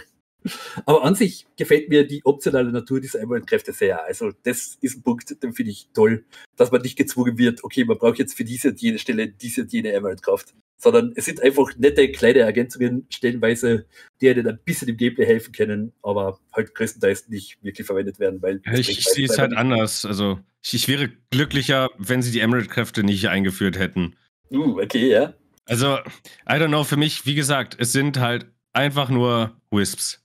Mhm. Und ich bin von den Wisp-Kräften schon nicht der größte Fan. Äh, das hier mag jetzt ein bisschen besser umgesetzt sein, aber ach, to be honest, ich, ich wäre glücklicher, wären die nicht im Spiel. Okay, ja. Hm. Also einfach, weil die, die, die bieten mir null spielerischen Mehrwert. Ich finde die allesamt mehr nervig, als dass sie mir Gutes bringen. Ja. Also klar, ja, Avatar mal im Bosskampf, dann kriegst du halt noch ein paar Hits rein oder sowas, aber warum denn die Bosskämpfe so designen, dass man darüber, dass man da, dazu überhaupt genötigt wird, das zu machen, weil einige Bosskämpfe sind echt scheiße designt. ja. Und dazu kommen wir gleich noch. Ja. Ähm, aber von mir aus, Wisp-Kräfte einfach rausschmeißen, fertig. Ich, ich, mhm. ich, persönlich bin kein Fan von denen. Okay, ja. Ist verständlich. Für mich sind sie ein größtenteils inoffensives Extra. Und was mich übrigens am meisten ankotzt, ist dieses dämliche Wählrad, was man mit dem rechten Stick oder mit dem äh, R1-Knopf auf dem Xbox-Controller aufrufen kann. Mhm. Weil dann musst du erstmal suchen, wo ist denn jetzt die Emerald-Kraft? Und wenn du in einem Bosskampf bist, ist das echt scheiße. ja. Und zweiter Punkt, Supersonic ist auf diesem, oder die Superform generell ist auf diesem Rad. Anstatt es mhm. so zu machen wie vorher, du springst und drückst äh, Y, X, whatever, der halt der obere Knopf. Ja, das ist auch so, ein bisschen nervig, wenn man die schnell einfach auf die Schnelle aktivieren will und das nicht kann und dann getroffen wird und alle Ringe sind weg, weil man einfach nicht schnell genug auf das Rad wechseln hat können. Ja. Das ist mir noch nicht passiert, zum Glück. Also wirklich nicht. Aber es kann passieren. ja, also, I, I don't know. Uh, not, not, a fan. Not a fan. Mhm. Können, okay, können ja. gerne weg. Und jetzt kommen wir dann doch mal zum Boss-Design. Uh, ja. Also zum Gameplay-Aspekt uh, designtechnisch, weil ja, die Bosse an sich vom Aussehen her alle, ja, ist, ist nett, ist spaßig, hm. Paar von denen sind echt cool inszeniert einfach auch. Ja. Relativ, relativ kreativ auch. Ja?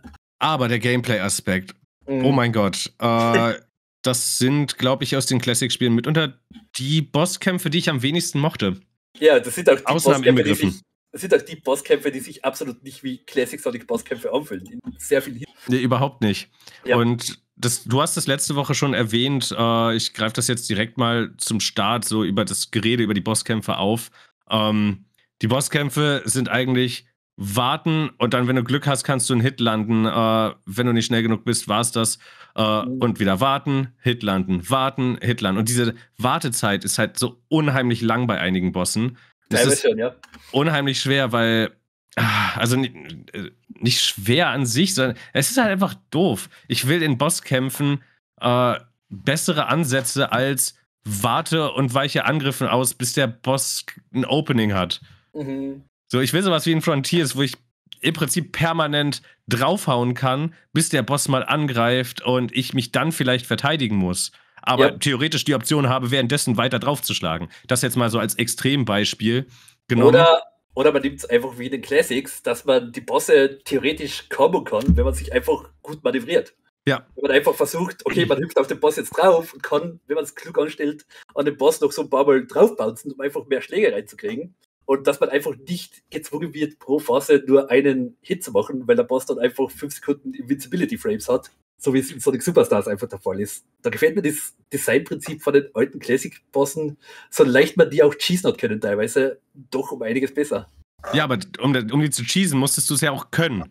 Ja, so, eben, ja. Das, es ist ja im Prinzip, sage ich jetzt gerade nichts anderes als das, was ich vor zwei Wochen im Sonic Frontiers äh, Final Horizon Review gesagt habe über Wyvern. Das mhm. ist halt einfach, du bist die meiste Zeit mit Warten beschäftigt, mit einer glorifizierten Cutscene, wenn du es so willst, in der du dich halt zufällig bewegen kannst. Ähm, das ist, ich, ich hasse so ein Boss-Design. Ich mag das einfach nicht. Ja, es, gerade für ein Sonic-Spiel fühlt sich das auch ein bisschen unpassend an, ja. Und das ist dann im Prinzip so, ja, es gibt Bosse, wie zum Beispiel den äh, Bridge Island Zone Boss, ähm, mhm. wo das halt relativ fair ist. So, da kannst du halt eigentlich, wenn du es richtig machst, kannst du die ganze Zeit draufhüpfen, natürlich mit diesem 5 Sekunden Timeout. Mhm. Auch äh, der Boss von Press, Press Factory. Factory, genau. Auch einer meiner absoluten Lieblingsbosse im Spiel. Aber dann halte ich halt so den, den Final Boss mit Trip dagegen, an dem ich gerade hänge. So, oh mein ja. Gott. So, erstmal sind da die ganze Zeit Insta-Kill-Angriffe und dann bist du eigentlich nur mit Warten beschäftigt. Ja. Und kannst sie dann vielleicht angreifen, wenn nicht zufällig das, was du auf ihn zurückschleudern musst, durch die Stage fällt oder sowas. Was übrigens dann dauernd passiert. Natürlich. Der Boss speziell ist auch relativ jank, habe ich gemerkt. Und das trifft halt leider auch auf andere Bosse zu. Äh, also, die Mini-Bosse kann man relativ gut schießen, allesamt. Also da kann man eigentlich, die kann man zu jedem Zeitpunkt fast alle, glaube ich, angreifen. Die Akt ja. 1-Bosse eben. Ähm, ja.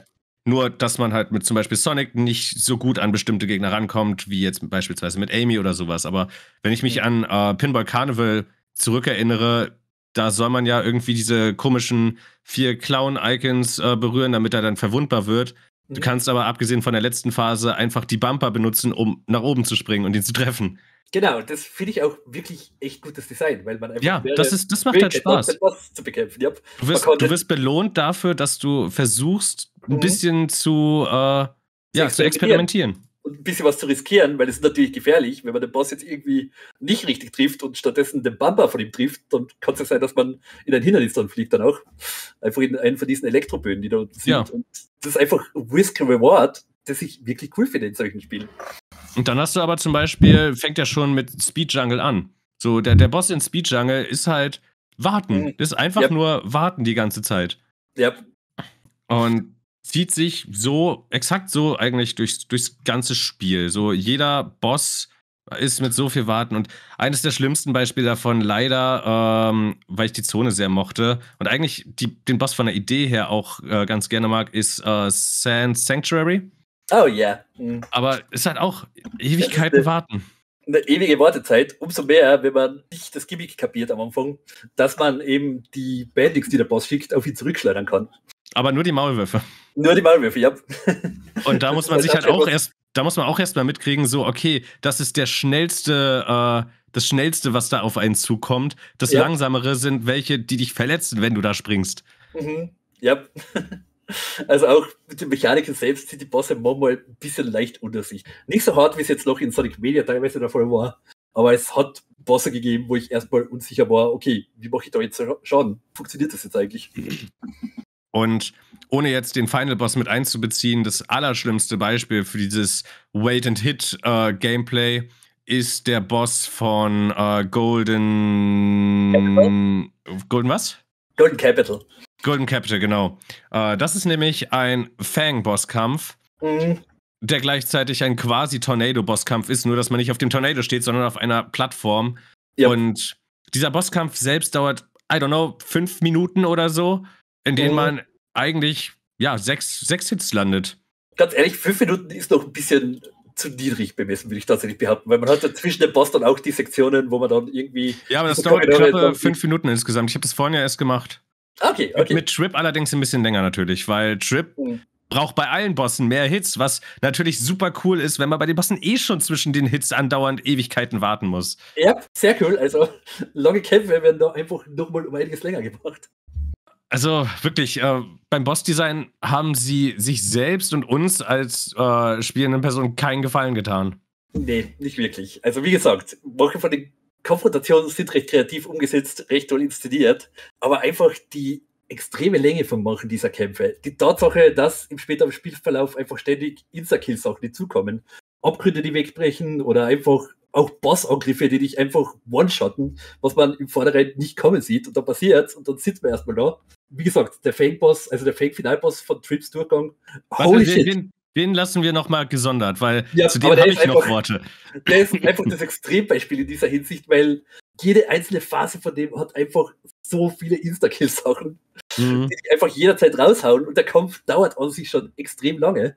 Und hey, man hat noch ein, zwei Hits und dann haut er in der Boss wieder raus und man muss alles nochmal machen, weil es gibt zwischen den Phasen keine Checkpoints. Wie viele Phasen Was? hat er? Bitte sag es mir jetzt einfach. Ja, es, ist, es sind nur die zwei Phasen. Also wenn du die zweite Phase und der Ach, du. Thank Gott, die, die, zweite hatte ich nämlich schon fast. Also. Aber, aber, großes, aber er hat nochmal eine Art Desperation Attack am Ende, die er hin und wieder macht. Wenn man die nicht kommen sieht, sofort Ist das das, wo er die Plattform zerstört? Ja. Ja, die hatte ich schon. Also, okay, gut. Aber da hat er mich, da hat er mich tatsächlich, glaube ich, nicht getötet, sondern das war erst kurz danach. Ich bin an ihm vorbeigesprungen irgendwie, weil ich, und ich hatte keine Ringe mehr und äh, aber doch, die, die konnte ich, äh, die konnte man vorhersehen, fand ich. I don't know. Ich bin einfach. Weil er so die Arme hochreißt und man hat ja den normalen Final Boss schon gemacht, der sowas auch schon dauernd gemacht hat. Ja. Uh, deswegen, ich, ich habe den halbwegs kommen sehen, den Angriff. Ich leider nicht. Also, keine Ahnung. Ich bin einfach nur vorne gerannt. Und der erste Moment war dann, oh mein Gott, was macht er jetzt? Oh mein Gott, ich renne einfach mal. Und dann bricht er einfach die Plattform mhm. weg, links und rechts von dir und man stürzt einfach nach unten. und das ist mir ah, passiert. Ja, wie gesagt, Final, Final Boss kommt später. Ich war sehr salty und der ist einfach das Extrembeispiel, was da ja. die Insta-Kill-Angriffe angeht. Aber nicht nur. Also, es gibt einige Insta-Kill- Bosskämpfe, wo man einfach ständig in Abgründe reinfallen kann, auch schon einiges davor. Ab der zweiten Spielhälfte eigentlich, könnte man sagen. Oh, warte, da fällt mir ein, äh, etwas, was ich noch Richtung Leveldesign erwähnen muss, weil ich es vorhin äh, vergessen habe. Es gibt okay. Bottomless Pits und die, das finde ich gut. Es gibt wieder vernünftige, vernünftig platzierte Bottomless Pits. Ja, die sind jetzt nicht allzu unfair. Die sind, die sind wirklich fair platziert. Also jedes ja. Mal, wenn ich da runtergefallen bin, wusste ich, warum ich da runtergefallen bin. Nämlich einfach, weil ich zu ungeduldig war oder nicht aufgepasst habe oder sonst was. Und das ja. nochmal als großes Plus für das Leveldesign auf jeden Fall. Genau, das war auch schon mal anders in dieser Franchise. ja, Sonic 4. Was? Ja.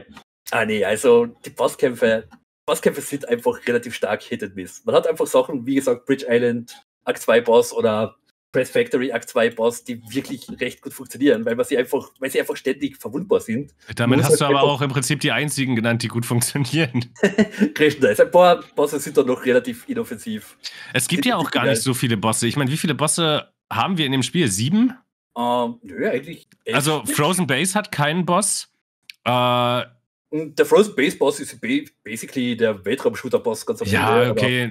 Komm. Ich meine, aus dem Das ist lächerlich. Du, du, du sitzt da und hältst A gedrückt und fliegst mal nach links und rechts oder oben und unten. Das ist halt so ein komischer Doppelboss für alle, die das nicht wissen. Und man mhm. macht eigentlich nichts außer A halten und den Stick ein bisschen bewegen, um auszuweichen.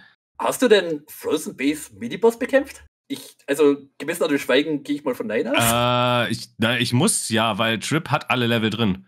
Oh ja, okay. Ich erinnere mich nur gerade nicht dran. Ich dachte, also ich, ich weiß es gerade nicht mehr, was das für einer war, aber ich habe ihn auf jeden Fall bekämpft, weil ich habe ja Trip durchgespielt. Ja, das war das, keine Ahnung, das Vogel, der Vogelbadnik, der einfach in dieser oh, ja, ist. Ja, ja, ja, ja, ja, ja, ja, ja, ja, ja. Auf den, mit dem habe ich nicht gerechnet. weil das Ding ist, im originalen Durchgang, in der regulären Story, kann man ja aussuchen, man macht entweder das Tails-Level oder Akt 1. Und das Tails-Level wird vorgeschlagen als erstes. Ja, und das Tails-Level hat keinen Boss am Ende. Und ich, ich war dann halt äh, so ähm, in, in, in, meinem Sonic Playthrough dachte ich mir so, oh, ich habe noch nicht mit Tails gespielt, will ich jetzt mal machen, mache ich mal zuerst das Tails-Level, weil bei Amy zum Beispiel war das so, dass dann einfach, ja, das war halt so, äh, mhm. Amy's Akt war so dazwischen geschoben dann und danach kam der normale Akt 2 von Lagoon City. Genauso ja. dasselbe wie bei Knuckles mit Golden Capital, aber bei Tails halt einfach nicht.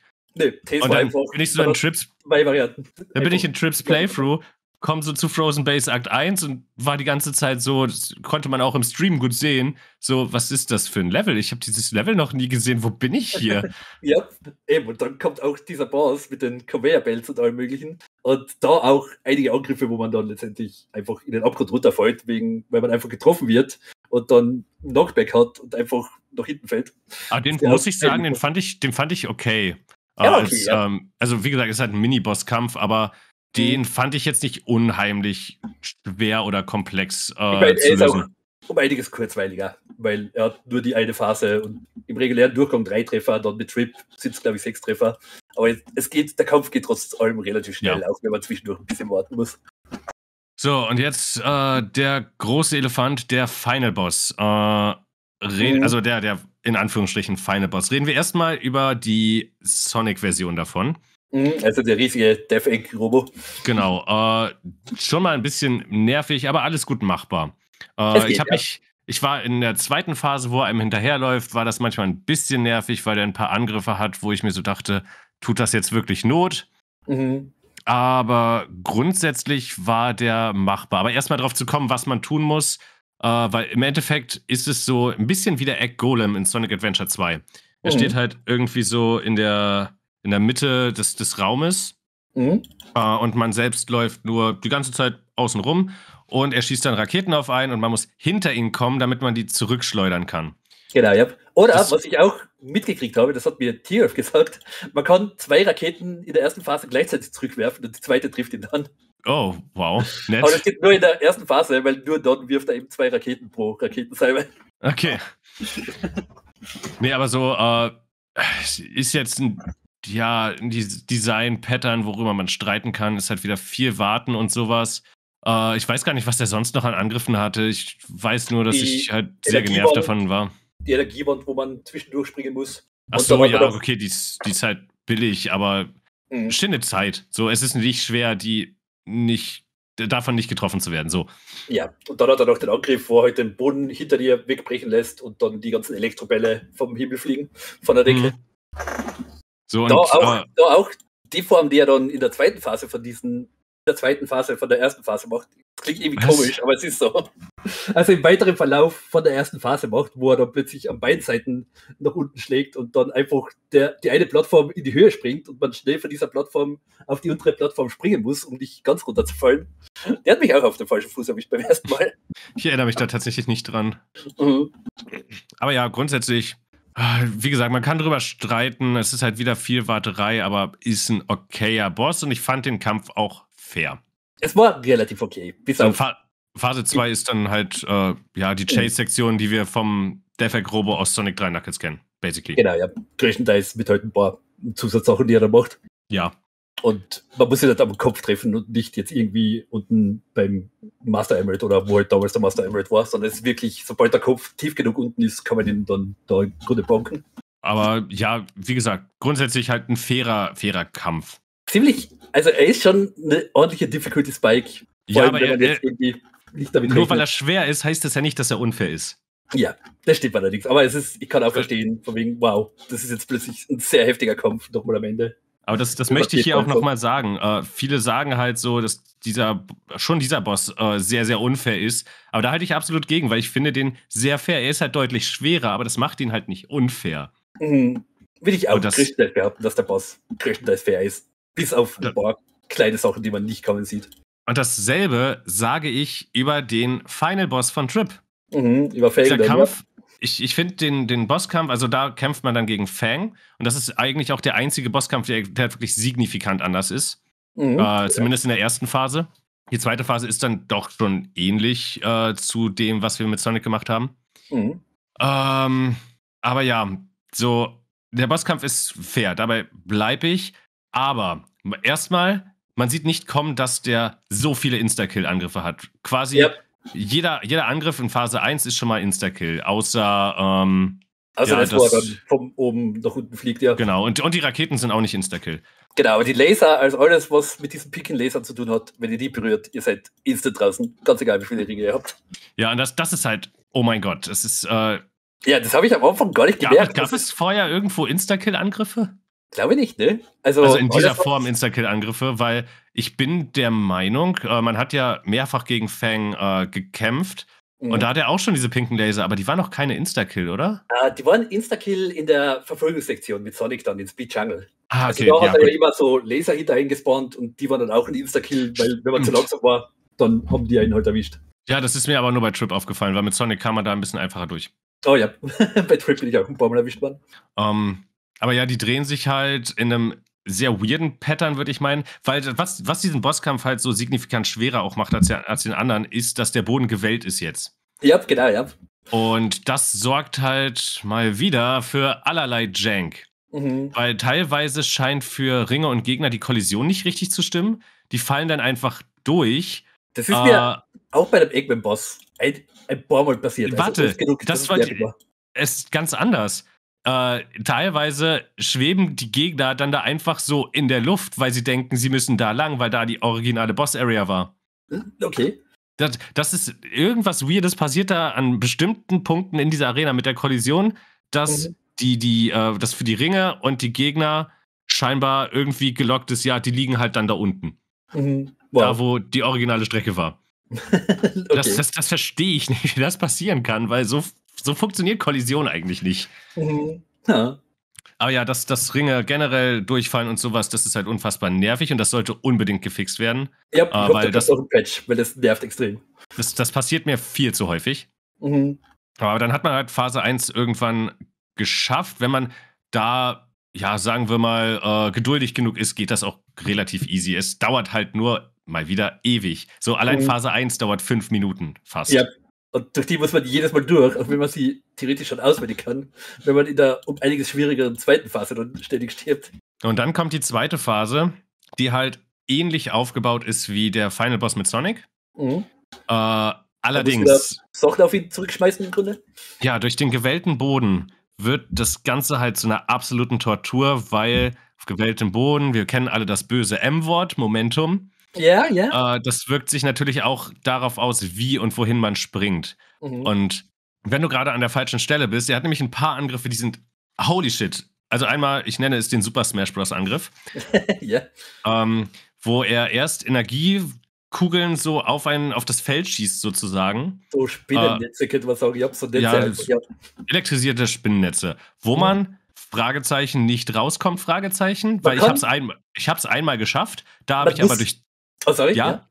Man muss also mashen. Ich, man muss mashen wie Sau. Also, wenn man extrem schnell. Habe ich nicht geschafft. Dann kann man durch. Aber es ist extrem schwierig, weil man muss sehr stark mashen. Ich dachte ja. mir, man kann mashen, aber ich habe es nicht einmal geschafft. Einmal mhm. ich, bin ich da rausgekommen, weil ich weiß nicht mal, wie das ging, weil es hat nie wieder geklappt. Irgendwie hat sich das Emerald-Kräfte-Menü geöffnet oh. und dann bin ich da einfach rausgefallen.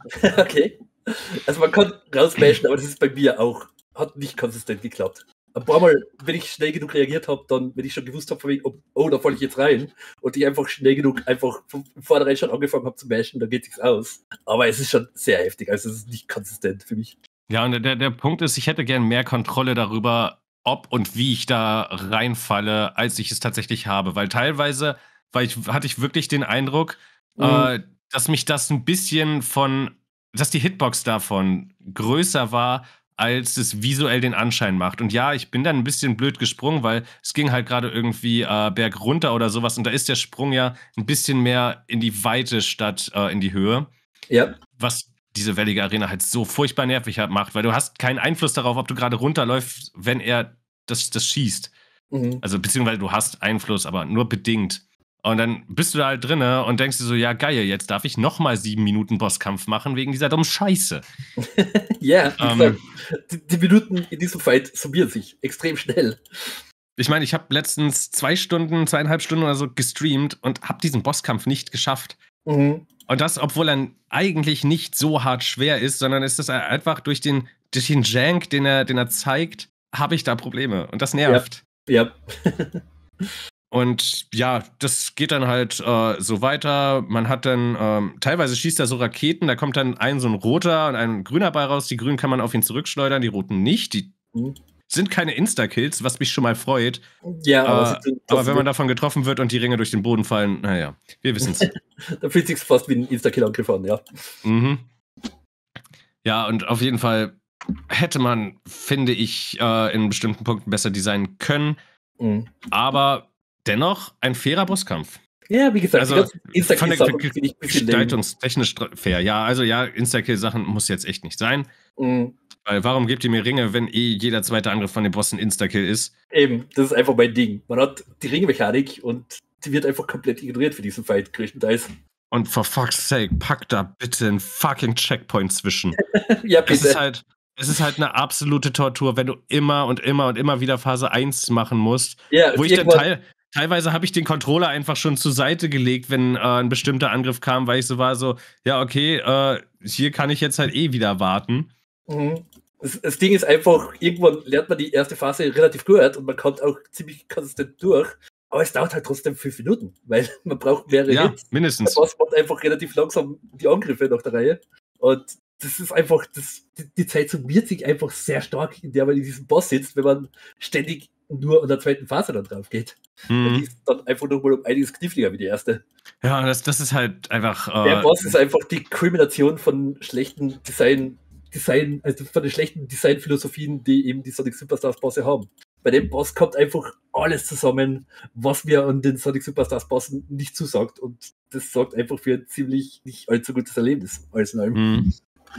Und äh, was ich aber nochmal positiv bei dem Boss hervorheben möchte, der fragt wirklich alles ab, was du in dem Spiel gelernt hast. Und abgesehen von diesem Energielaser-Spinnennetz, äh, mhm. hast du auch alles von diesen Angriffen, die er halt macht und wie du sie zurückschleudern musst und und und, hast du alles schon mal gesehen im Spiel. Ja. Das finde ich sehr positiv. Also der mhm. wirft halt nicht plötzlich neue Gameplay-Mechaniken dir an den Kopf, wie diverse andere Bosse, äh, über die wir nicht mehr sprechen wollen, äh, sondern so auch von der Philosophie her, wie du den Boss angehen musst, muss ich sagen, ja, passt. Mhm. Äh, ja. Haben sie gut einfach nochmal das Wissen abgefragt, auch wenn es halt, wie gesagt, brutal schwer ist und die erste Phase, dass du die halt ständig immer und immer und immer und immer wieder machen musst. Das ist, mhm. oh, come on. Ja, das zieht sich sehr. Und ja, dann, nachdem man den Final Boss besiegt hat, äh, mit den jeweiligen Charakteren, kommen die Credits, die absolut furchtbar sind. Ja, mehrere Minuten dauern, ja. Also ich, ich, ich glaube, 10, 10 bis 15 Minuten dauert es trotzdem schon. Ja, könnte die kommen. Und ja, das, das ist halt furchtbar nervig, äh, weil die auch wieder. Ich bin eigentlich Fan davon, wenn sie kreative Credits machen. Mhm. Aber hier ist es jetzt wieder so wie in Sonic Colors. Du läufst von links nach rechts und die Credits fliegen dann da durch. Äh, und du kannst währenddessen halt spielen, aber die Art und Weise, wie das halt präsentiert ist, sorgt halt dafür, dass die Credits äh, doppelt so lang sind, wie sie müssten. Ja. Yeah. Ja, und dann kommt noch die letzte Story nach Trip. Genau, ja. Also, nachdem man mit Trip einfach den Fang Finalboss besiegt hat, gibt es einen neuen Menüpunkt. Last Story, basically. Ja. Und äh, ich weiß jetzt nicht, was da storytechnisch passiert, ob da noch eine Cutscene ist oder sowas. Es wird aber alles neu nicht allzu viel erklärt. Also es gibt weitaus weniger Kontext, wie ich mir für diese Situation eigentlich, oder wie ich für diese Situation eigentlich gern gehabt hätte. Ja, und dann kommt halt ein Super Sonic-Bosskampf, wo dann einfach ein Drache da ist und yeah. äh, yeah. ja, also keine Ahnung, der Kampf ist äh, wieder sehr, sehr, sehr viel warten. Ich habe ihn jetzt nur gesehen, so David, du hast ihn gespielt. Ich habe ihn gespielt, ähm, ja. Und äh, der war irgendwie dafür, dass der, der Boss irgendwie so die letzte, unter Anführungszeichen, Belohnung sein soll, einfach die letzte große Herausforderung, war er alles in allem ziemlich underwhelming. Also, er war, ich glaube, das perfekte Wort, was du im Vorfeld schon angeführt hast, ist einfach, er ist sehr clunky. Der Boss fühlt sich einfach an, als wäre er wär irgendwie nur so halb fertig, auch was so gewisse Mechaniken angeht. Und man fliegt also, mal im Kontext, man fliegt mit Supersonic einfach in dem 2D-Areal rum. Der Boss befindet sich meistens im Hintergrund und macht halt seinen Bullshit. Und man muss da ausweichen oder auch nicht, weil man nimmt eh keinen Schaden. Und die ganzen Ringe, die da rumfliegen, muss man natürlich einsammeln. Es gibt da so einen leichten Magneteffekt, das ist recht praktisch. Also, also den, äh, die, die, das Ring einsammeln, das muss ich nochmal sagen, weil das ist ein Kritikpunkt von mir, ist mhm. äh, in etwa so wie in Sonic Mania. Ja, genau. Also wie da beim Final, Sonic, äh, Final Supersonic Boss. Genau, die fallen halt vom Himmel und man muss halt irgendwie mit Supersonic so ein bisschen in die Nähe fliegen, dass man die Ringe dann einsammelt. Aber uh, halt auch äh, nur einzeln und nicht irgendwie mehrere gleichzeitig, was halt vielleicht mal ganz nett wäre. Mm, ich meine, wie gesagt, man muss in die Nähe kommen, dann fliegen die Ringe so wohl alle ein bisschen, ein kleiner Badge von Ringen, einfach der in der Nähe war, fliegt dann schon auf dich zu. Aber man muss halt häufig in der Nähe sein dafür. Äh, eine Sache, die mich bei dem Boss überrascht hat, wo ich irgendwie mir nicht sicher war, wie zum Geier verliere ich jetzt eigentlich so schnell Ringe. Äh, der klassische Dash, den man mit Super Sonic macht, der kostet Ringe. Also man kann nicht das mit Super war Sonic in Sonic Mania aber auch so. Ja, aber mich nervt das einfach, weil das habe ich einfach absolut nicht gewusst, dass das wieder irgendwie Ringe verlangt. Und ich bin da einfach kreuz und quer mit Super Sonic durch die Gegend gedasht, weil yay, und dann kann ich den Angriffen besser ausweichen, als mögliche. Und dann war der Kampf irgendwie ständig vorbei und ich so, wait a minute, warum habe ich jetzt irgendwie, warum habe ich jetzt irgendwie null Ringe, obwohl ich vorher noch 30 gehabt habe? Und dann habe ich das gecheckt und basically sorgt es das dafür, dass man den Dash in dem Fall schlicht und einfach nicht benutzen sollte, weil es bringt nicht wirklich was. Ja, wie in Sonic Mania übrigens. Ja, aber so, warum? Wer, wer, macht den Bosskampf äh, generell in der Luft und zweitens mit dem Dash? So, man steht am Boden und springt halt einfach zu den Gegnern. So war es in ja. Sonic Mania. Aber diesmal gibt es keinen Boden, also. Ja, ich weiß, aber. Du weißt, was ich meine. Ja, in Sonic Superstars hat man halt nur gewisse wenige Möglichkeiten, den Boss dann zu erreichen. Der Kampf wechselt dann zum Beispiel auch in der Ansicht, wo der Boss dann Feuerbälle und so weiteres oder schwarze Löcher auf dich schießt. Und wenn man ihn dann schnell genug erreichen kann, dann kann man eben Schaden machen. Und keine Ahnung, das fühlt sich auch sehr clunky an alles. Es, I don't know, der Boss war einfach sehr underwhelming. Und es gibt dann einfach auch wieder so viele Phasen, wo der Boss einfach im Hintergrund seine blöden Angriffe macht. Und ob man sich von diesen Angriffen treffen lässt oder nicht, ist vollkommen irrelevant, weil man nimmt mit Supersonic eh keinen Schaden. Also schaut man sich im Grunde einfach eine glorifizierte Cutscene an.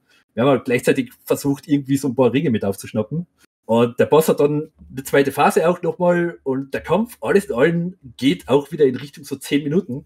Und was bei dem Boss dann am Ende nochmal ganz lustig ist, er hat ein QTE-Event am Ende nochmal, wo man, wo der Boss einfach Meteore auf Supersonic schießt. Und man muss dann einfach im richtigen Rhythmus den Knopf drücken und die Meteoren auf ihn zurückschießen. Ansonsten verliert man sehr viel Zeit und geht dann sehr schnell einfach drauf, weil in diesem Moment spawnen auch keine neuen Ringe mehr. Und äh, das passiert natürlich erst ganz am Ende von diesem 10-Minuten-Kampf. Also wenn man da noch absolut nicht checkt, was man tun muss und was jetzt abgeht, dann viel Spaß, das alles einfach nochmal zu machen. Fun.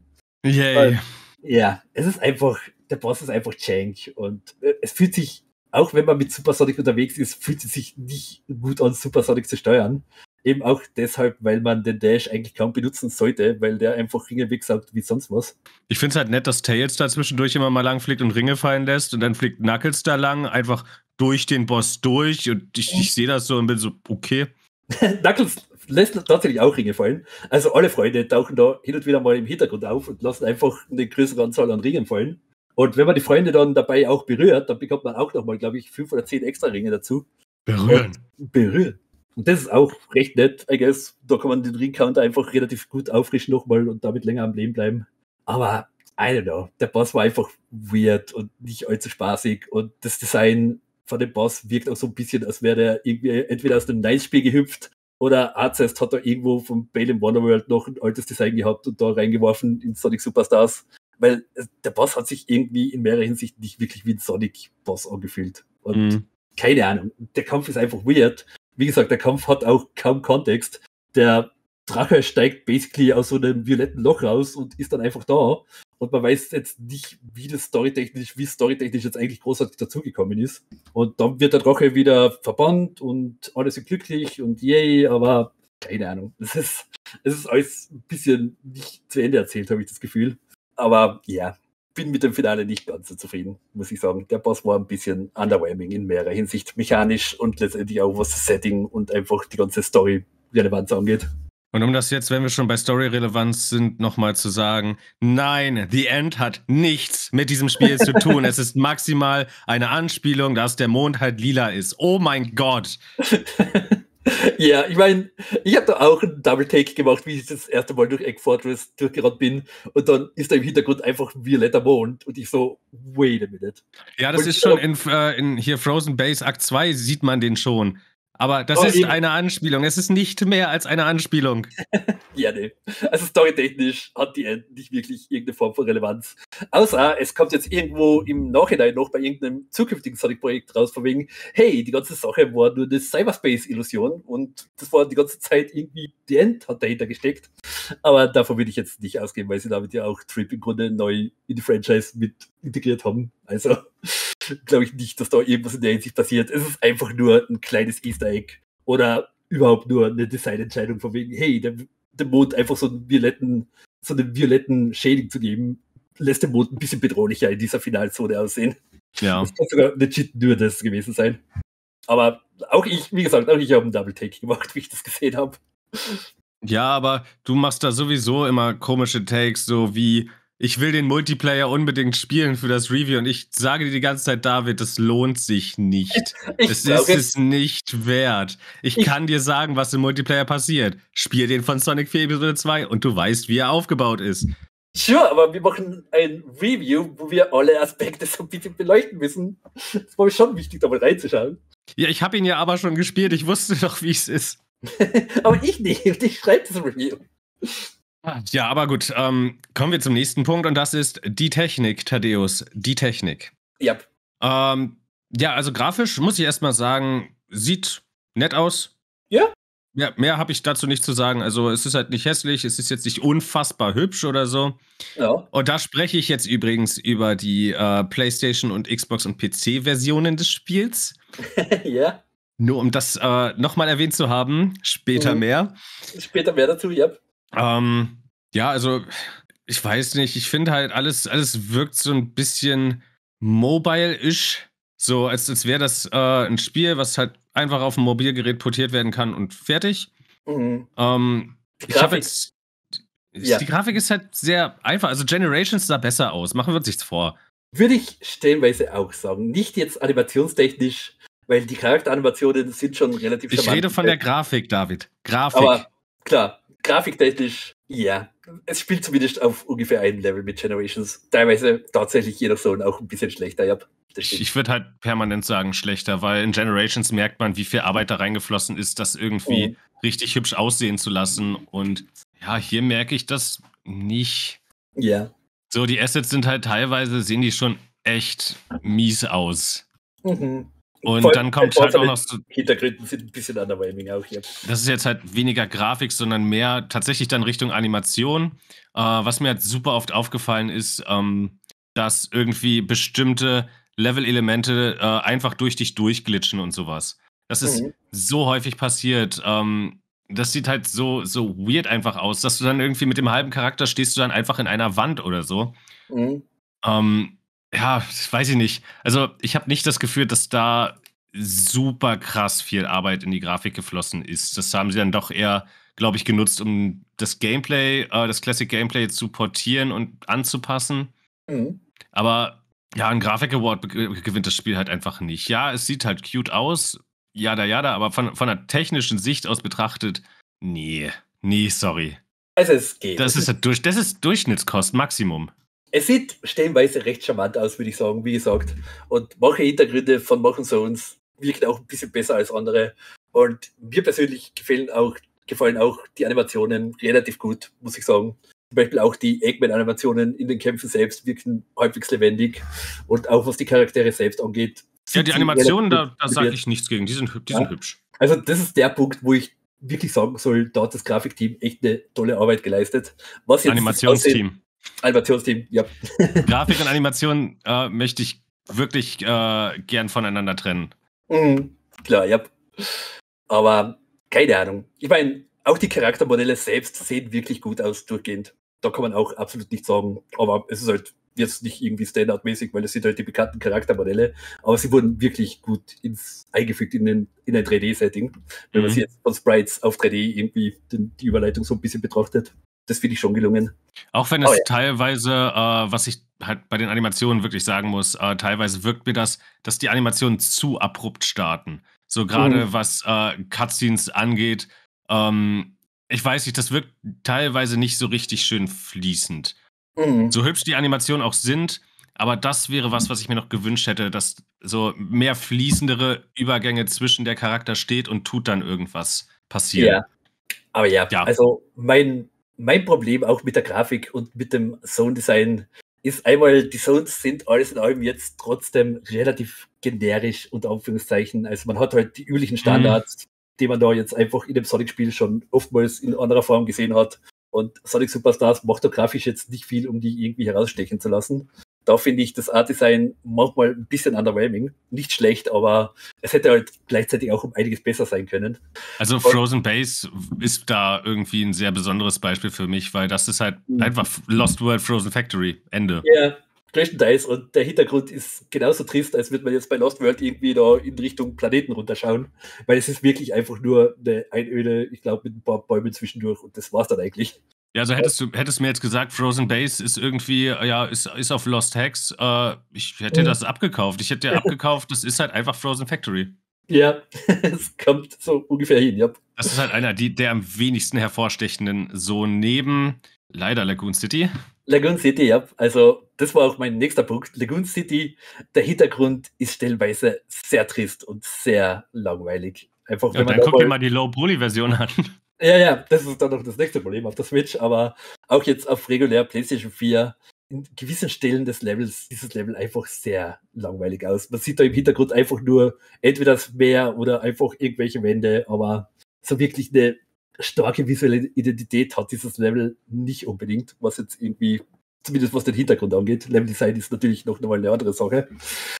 Aber keine Ahnung, das fand ich ein bisschen underwhelming und das trifft halt leider auf die meisten Zonen zu. Das zieht sich so ein bisschen durch. Ausnahmen, ja. Ausnahmen natürlich. Pinball Carnival Act 1 und 2. Ja. Tippitoppi. Cyber Station mhm. sieht richtig, richtig toll aus. Die Egg-Station, äh, Egg Fortress Zone ja. ist in Ordnung.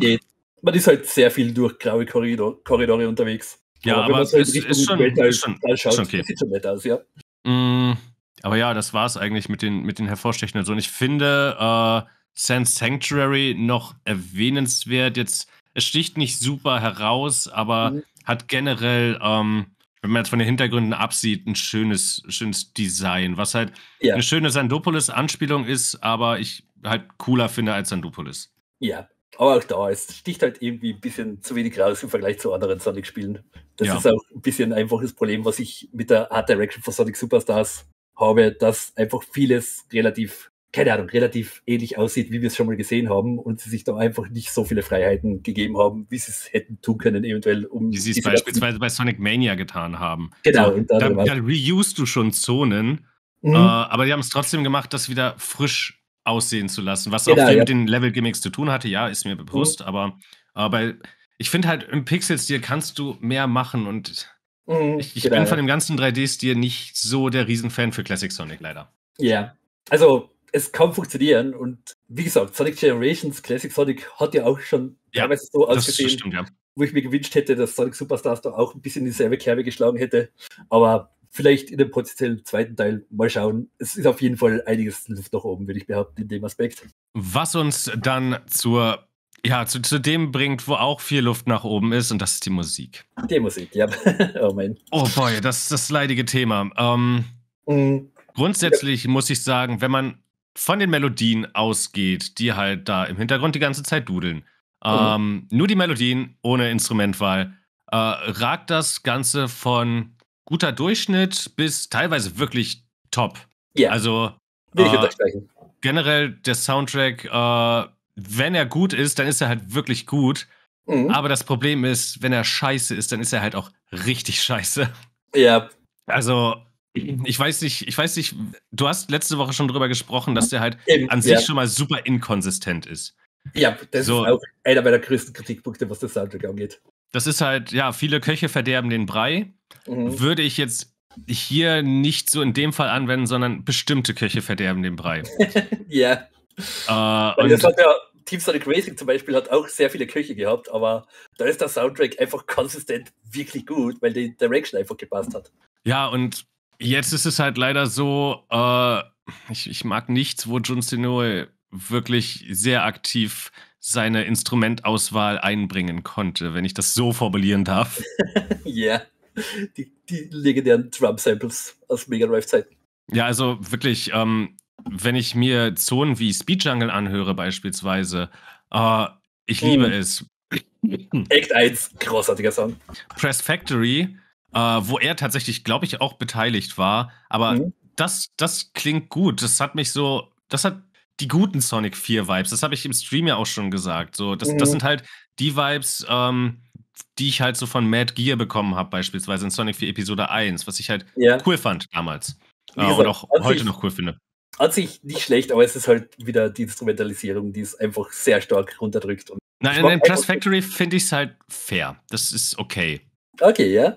Mm, ach, ich weiß du was, ich muss mir jetzt die Zonenliste aufmachen. Jesus Christ. Uh, Golden Capital. Golden Capital ist, halt, ist ein äh, was Soundtrack angeht, was der Soundtrack Aber das, ist, das sind auch nicht die Instrumente, sondern das, das ist einfach ein Stück, wo ich sage, es hat einfach überhaupt nichts, was es in irgendeiner Form interessant macht. Ja, erstens das. Das ist halt einfach langweilig. Doch Peak Sonic 4. Also spätestens da bei dieser Saison sind wir im Peak Sonic 4 angekommen. So, dann kommt aber Pinball Carnival, Akt 1 und 2, absolut Oberklasse. Hammer. Ja. Richtig, richtig, richtig, richtig, richtig gut. Mhm. Ähm, Bridge Island Zone für eine Opening Zone sehr nett. Ansonsten ja. gibt mir das leider nicht so viel. Oh, es ist nett für das, was es ist. Sky Temple hat irgendwie auch so vor sich, vor sich hingedudelt irgendwie die meiste Zeit. Ist nicht schlecht, aber es ist halt auch einer von der Songs, die so ein bisschen einfach im Hintergrund rumdümpeln. Ja, Lagoon City. Aber sind halt einfach da. Lagoon City ist so zwischen den Acts so ein Hit and Miss. Also äh, klingt schön atmosphärisch in Teilen, äh, dann aber auch wieder so, dass ich mir denke, oh Gott, ich schlafe gleich ein. Äh, Act 2 ist tatsächlich eins meiner absoluten Lieblingsstücke vom Spiel. Ich mag das sehr, sehr gerne. Sand Sanctuary finde ich tatsächlich sehr cool. Ja, Sand Sanctuary war gut. Also das ist so auch, wie ich mir ein, äh, so, so ein Wüstentheme vorstellen würde. Mhm. Äh, warte, ich muss das mal kurz anwerfen, äh, damit ich es nochmal höre. Moment. Ah ja, ja doch, das finde ich toll. Ja.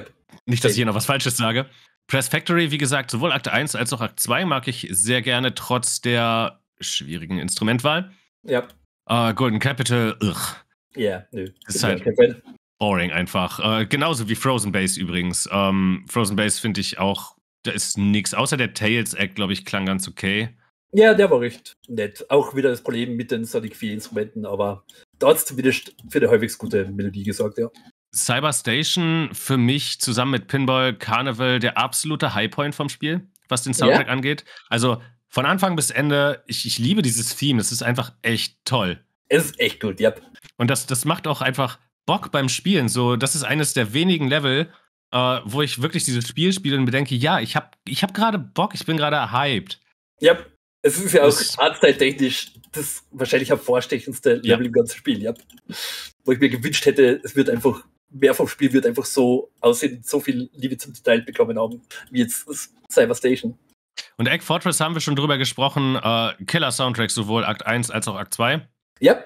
Ähm, etwas, was ich, was ein richtig, richtig gemischtes Paket ist, ist äh, wirklich das Final Boss-Theme, wo man gegen Fang mit Trip kämpft. Mhm. Ja, Weil das ist mir sich, Zeit auf die Nerven gegangen. Mir, mir halt nicht, äh, aber ich, ich liebe es, wie dieses Stück anfängt. Das ist mhm. ein wirklich, wirklich starker Anfang. Und dann hauen sie die MIDI-Sounds wieder rein und ich bin so, ach come on.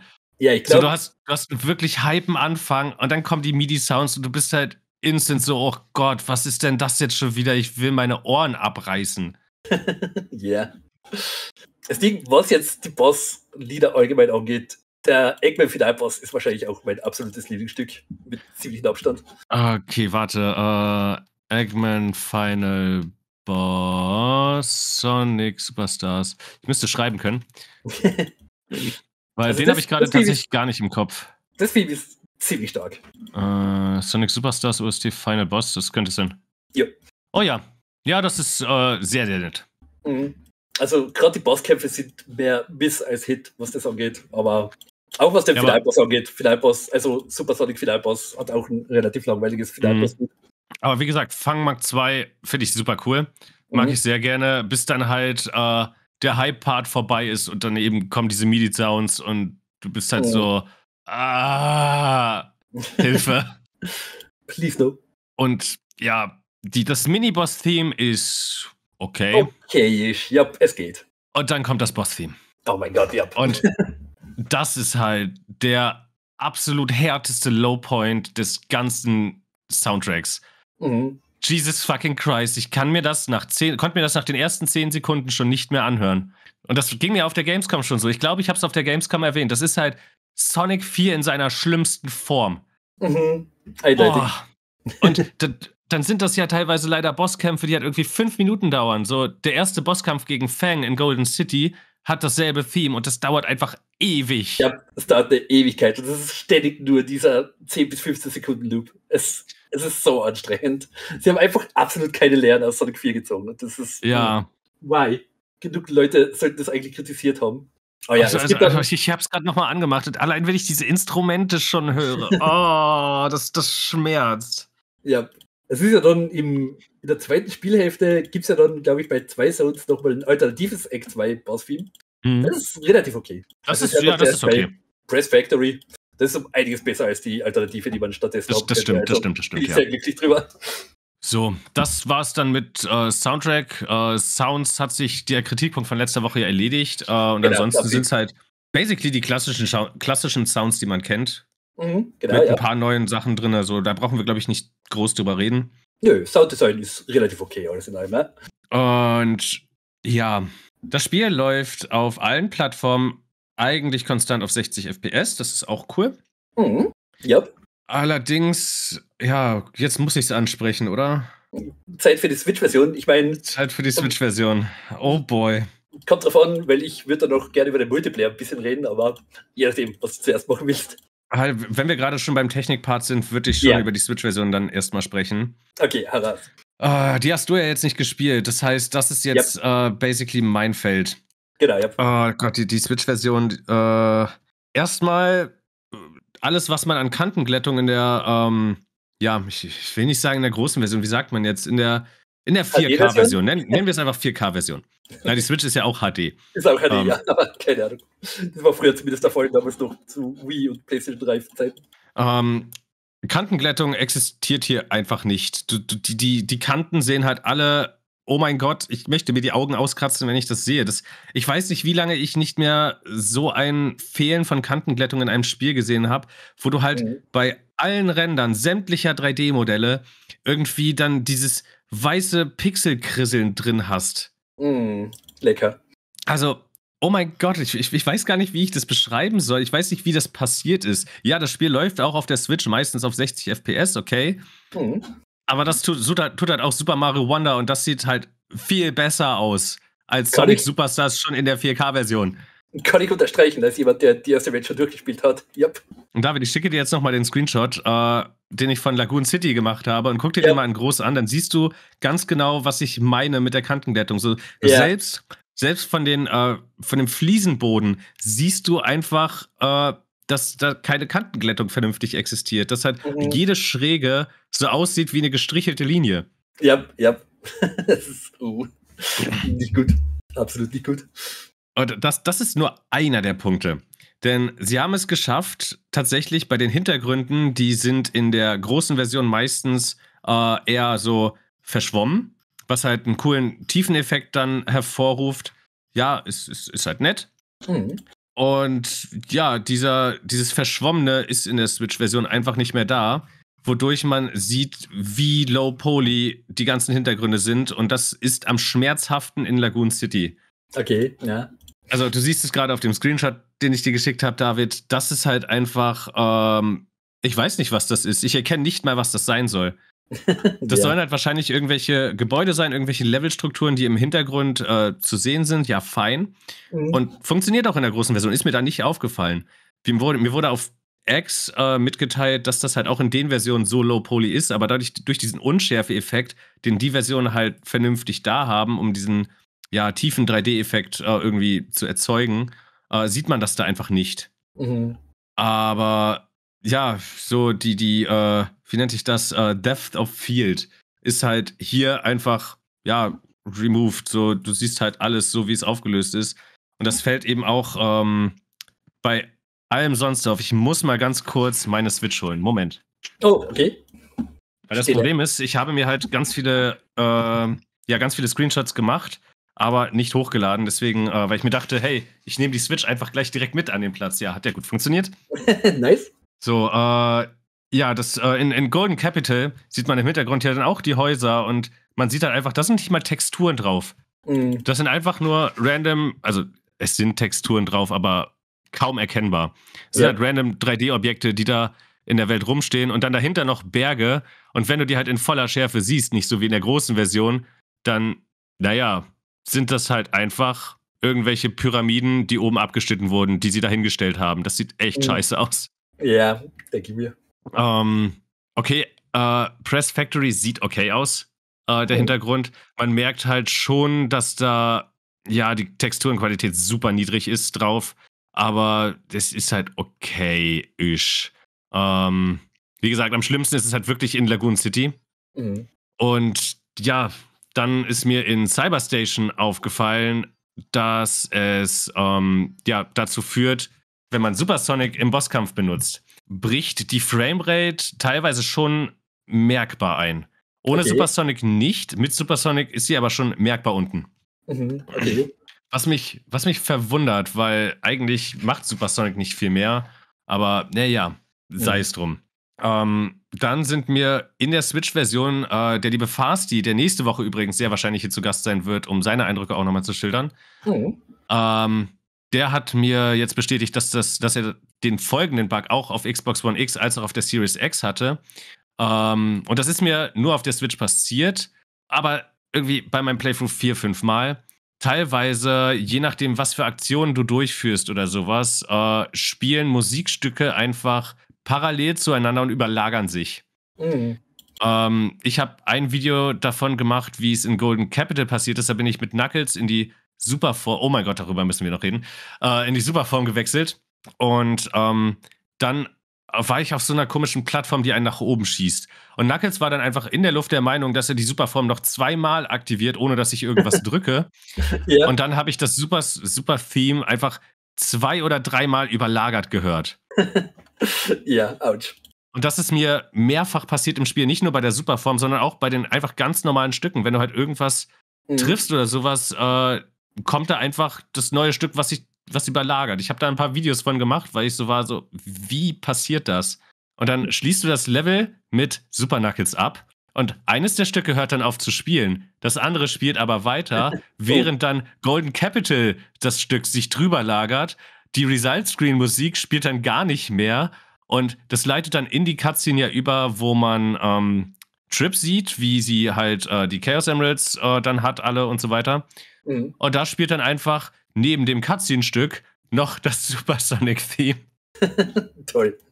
Wow. Also keine Ahnung, was das ist. Das ist mir sehr häufig passiert, jetzt so vier, fünf Mal, wie gesagt, im Switch-Playthrough. Mhm. Äh, und Fasti hat halt gemeint, äh, hatte er sowohl auf der Xbox One X als auch auf der Series X. Ich auch noch, aber das war damals halt angepatcht. Ich weiß nicht, wie viel besser das inzwischen ist, aber. Also meinst du es gepatcht? Also es hat eben, ja, bei der Switch ist natürlich dann nochmal auch eine andere Sache, aber auf der PlayStation 4 Version habe ich auch immer wieder mal Soundeffekte gehabt und teilweise auch Musikstücke, die sich ein bisschen überlagert haben. Oder wo das Musikstück mit dem Level dann einfach ausgesetzt hat, aus irgendeinem Grund. Mhm. Weil irgendwie einfach irgendwas ja, das ist, gespielt hat. Das ist ja tatsächlich ein Problem, was häufiger in Sonic-Spielen vorgekommen ist schon. Genau, ja. Also sowohl die Classic-Spieler als auch äh, die modernen, moderneren Spiele.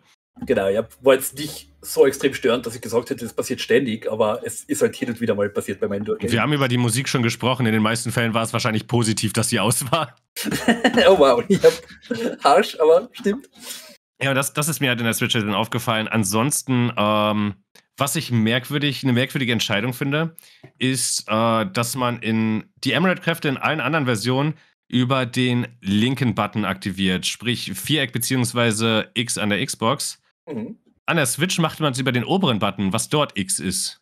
Das finde ich befremdlich. Ich weiß nicht, warum ah, das so ist, aber naja, es ist mir aufgefallen und ich war dann so, okay, ich hinterfrage das jetzt nicht, es ist mhm. nur aufgefallen.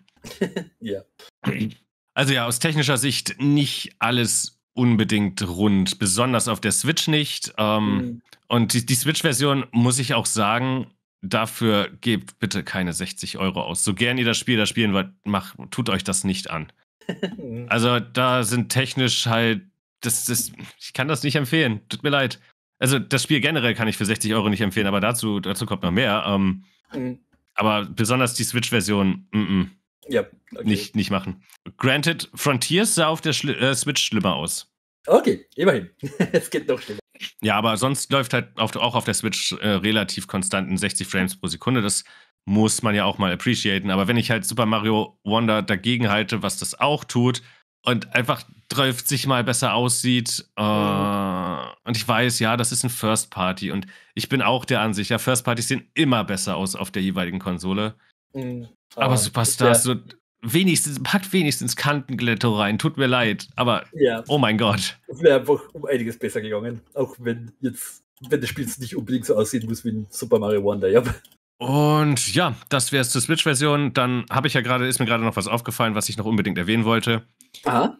Warum zum fickenden Fick haben Sonic, äh, haben Tails, Knuckles und Amy keine Superform, sondern ja. es wird dann Superkräfte genannt, statt äh, ja, Knuckles can now be Super, äh, Super Knuckles oder sowas. Aber mhm. Trip hat eine Superform, die übrigens absolut furchtbar zu steuern ist, aber eigentlich der Easy Mode für den Hard Mode. Ja, man kann mit ihr, also sie verwandelt sich in den goldenen Rochen und man kann mit ihr einfach durch die Gegend fliegen und Feuerbälle schießen. Ja. Und damit bricht man basically jedes Level ja. komplett in zwei. Auch wenn sie da halt so, wenn sie rollt oder sowas, dann ist man einfach ein, goldene, ein goldener Nebel. Mhm. also da, da unterstelle ich den jetzt einfach mal Faulheit. Ja, könnte sein. Gut, hat auch damit was zu tun, dass äh, Trip in der Superform halt deutlich größer ist. Mhm. Was ich aber auch nicht verstehe, also die, die, ganze Trip-Superform-Geschichte ist so, so weird und ich verstehe sie nicht, aber naja. Ja, das hat halt alles auch mit diesem ganzen Drachenkonzept eben zu tun, auch was den Finalboss dann angeht. Das aber alles irgendwie nicht allzu gut erklärt ist im Rahmen des Spiels. Ja, und eben, dass äh, die anderen Charaktere keine Superform direkt haben, obwohl die Classic-Spiele eigentlich sagen, die haben die. Für mich ist der Rückschluss, äh, auch wenn ich so das mit der Trip-Animation und einige technische Punkte jetzt gerade in der Switch-Version und sowas sehe. Ähm, es scheint in, aus meiner Sicht so zu sein, als wäre nicht die Zeit da gewesen, um die Animationen noch alle zu machen. Das mhm. ist eine reine Spekulation, aber gemessen an dem, was so die letzten, keine Ahnung, 50 Sonic Releases äh, geplagt hat, kann ich mir das halt sehr gut vorstellen. ja, kann schon gut sein. Es ist ein bisschen komisch. Es ist mir definitiv auch aufgefallen, dass die ganzen Charaktere irgendwie nur einen Goldschimmer bekommen. Und theoretisch haben eigentlich nur Sonic und Trip eine tatsächliche Superform in dem Spiel. Man hat ja auch nur die Möglichkeit, im Finalboss dann mit Sonic einzusteigen. Also man hat gar keine Auswahl, da irgendwen anders zu nehmen. Ich meine, äh, wenn man jetzt so Sonic Heroes sieht oder sowas, ja, da gab es die Superform von Tails und Knuckles auch nicht. Aber das mhm. waren halt auch Modern-Spiele, ähm, wo ich das vertreten, mehr vertreten kann, äh, als bei einem Classic-Spiel, wo wir halt schon ja. ja. im Prinzip das alles da haben. Wo sich schon etabliert hat, dass all die Charaktere eigentlich auch Superformen haben sollten. Auch Amy letztendlich, die ja letztens erst eine in Sonic Origins bekommen hat. Ja, genau. Aber ja, so ist es jetzt. Äh, es ist schade, es ist äh, ein bisschen verschwendetes Potenzial, aber die haben keine Superform. Ja. Also so, sie haben schon die Fähigkeiten der Superformen, aber sie sehen, also. Ja, also es ist halt nur. Nicht das Aussehen. Das Aussehen genau. ist halt das, was das Problem ist. Und worüber haben wir jetzt noch nicht gesprochen? Wir hatten noch ein paar Sachen auf jeden Fall, die wir ansprechen wollten. Das weiß also, ich. Also, Multiplayer? Würde ich gerne ein paar Worte dazu verlieren? Ja, dann äh, sprich. Ach, wir können beide über den Multiplayer sprechen, weil der ist kacke. Punkt. also ja, da muss man jetzt natürlich differenzieren, weil es gibt ja mehrere Möglichkeiten, jetzt Sonic Superstars auch Multiplayer zu spielen. Und zuerst haben wir ja den lokalen Multiplayer, also den Coop-Multiplayer, wo man die Hauptstory mit bis zu drei weiteren Mitspielern durchspielen kann und dann basically den vier Spieler-Durchgang machen kann, wo jeder halt in die Rolle von einem der vier Charaktere schlüpft und später dann auch einen Trip eben mit auswählen kann, je nachdem. Mhm. Und ja, das ist dann halt der lokale Coop-Modus. Leider nicht online in irgendeiner Form verfügbar. Also außer man macht jetzt so ein bisschen überkomplizierte Sachen wie SharePlay, kann man das leider nicht in irgendeiner Form online spielen, was ich sehr schade finde, weil das hätte sich irgendwie angeboten. Aber leider nicht. Aber letztendlich, der Coop-Multiplayer ist halt sehr chaotisch. Also man kennt es irgendwie. Ja, man verliert halt nichts dadurch, dass man das nicht online spielen kann. Bin ich, bin ich ganz ehrlich. Mehr oder weniger, ja. Also, wie gesagt, die Umsetzung ist einfach wie bei gewissen anderen Sonic-Spielen gewohnt, unter anderem Sonic 4 Episode 2 oder auch damals Sonic Wo es übrigens online gab. ja, das ist auch ein Vorteil, dieses Spiel definitiv gehabt hat im Vergleich zu Superstars. Und auch bei Sonic the Hedgehog 2 hat man ja im Koop-Modus, wo jetzt der zweite Spieler irgendwie den Controller mit Tails nehmen hat können, äh, hat man ja auch das gleiche Problem gehabt, dass man als zweiter Spieler einfach ständig nur mitgeschliffen wird.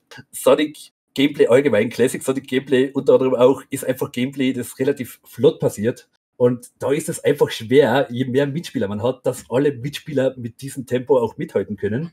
Und der Umkehrschluss ist einfach, dass die Spieler, dass andere Spieler dann einfach teilweise mit dem schnellsten Spieler mitgezogen werden, quer durchs Level, mit dem Level nicht wirklich stark interagieren können.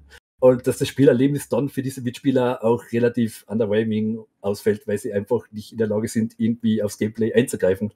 Und das passiert mit Sonic Superstars natürlich auch, weil alle Spieler teilen sich einen Bildschirm. Es gibt keine Möglichkeit von Splitscreen, wo man, wo jeder sich dann seinen eigenen Weg irgendwie das Level machen hat können, sondern nope.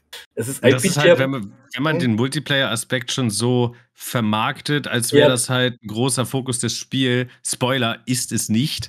Äh, ja. Keine Ahnung, dann sollte man da wenigstens ein Splitscreen haben oder sowas, aber am Ende ist es halt ja. so, alle Charaktere, die nicht ganz vorne sind, werden einfach nur mitgeschleift. Ja. Und das Spiel ist ständig verwirrt, wer denn jetzt irgendwie der Spieler 1 ist und wer denn alle anderen mitschleift. Ja. Genau, ja, das ist ja dann nebenbei noch der Fall, dass das Spiel manchmal oder die Kamera einfach das Problem hat, welcher Spieler jetzt eigentlich im Fokus stehen sollte und dann die Kamera ständig zwischen mehreren Spielern hin und her springt, was auch sehr verwirrend ist. Ja. Also, wie gesagt, ich finde schon, es ist nett, dass der Multiplayer da ist im Prinzip, weil, okay, das ist einfach, okay, man spielt jetzt als Spieler 1 und lässt den kleinen Bruder mitspielen und der kann halt nicht so viel machen, aber er hat vielleicht auch ein bisschen Spaß dabei. Und aber wenn man es jetzt wirklich ernst plant, mit einfach mehreren Freunden einen richtigen Story-Durchgang zu machen, dann habe ich eher das Gefühl, das wird wahrscheinlich zu frustrierenden Momenten sorgen, wenn einfach gewisse Spieler dann nicht mit dem Tempo von anderen Mitspielern mithalten können und da einfach ständig nur mitgezogen werden. Mhm. Das Problem ist nicht so stark bei Bosskämpfen, die sind meistens Arena-basiert und da ist es dann wirklich so, dass alle Spieler so ein bisschen mithelfen können, was Mache der schweren Kämpfe tatsächlich auch ein bisschen entschärfen sollte. Also ich frage mich irgendwie eh jetzt im Umkehrschluss, ob Mache der Bosskämpfe überhaupt erst so heftig sind, weil sie einfach dann letztendlich im Multiplayer viel besser bewältigt werden können und das dann auf den Einzelspieler nicht irgendwie angepasst worden ist. Weil ansonsten, und das ist auch ein positiver Punkt, der Multiplayer beeinflusst den Einzelspielerdurchgang so gut wie gar nicht. Also ich habe jetzt beim Durchspielen nicht das Gefühl gehabt, dass diese ganzen Level jetzt auf eine Multiplayer-Erfahrung ausgerichtet waren. Sprich, es gibt jetzt weniger Speed-Passagen, sondern viel mehr Platforming oder die Level sind viel weiter und viel offener, als was jetzt von Classic Sonic gewöhnt ist.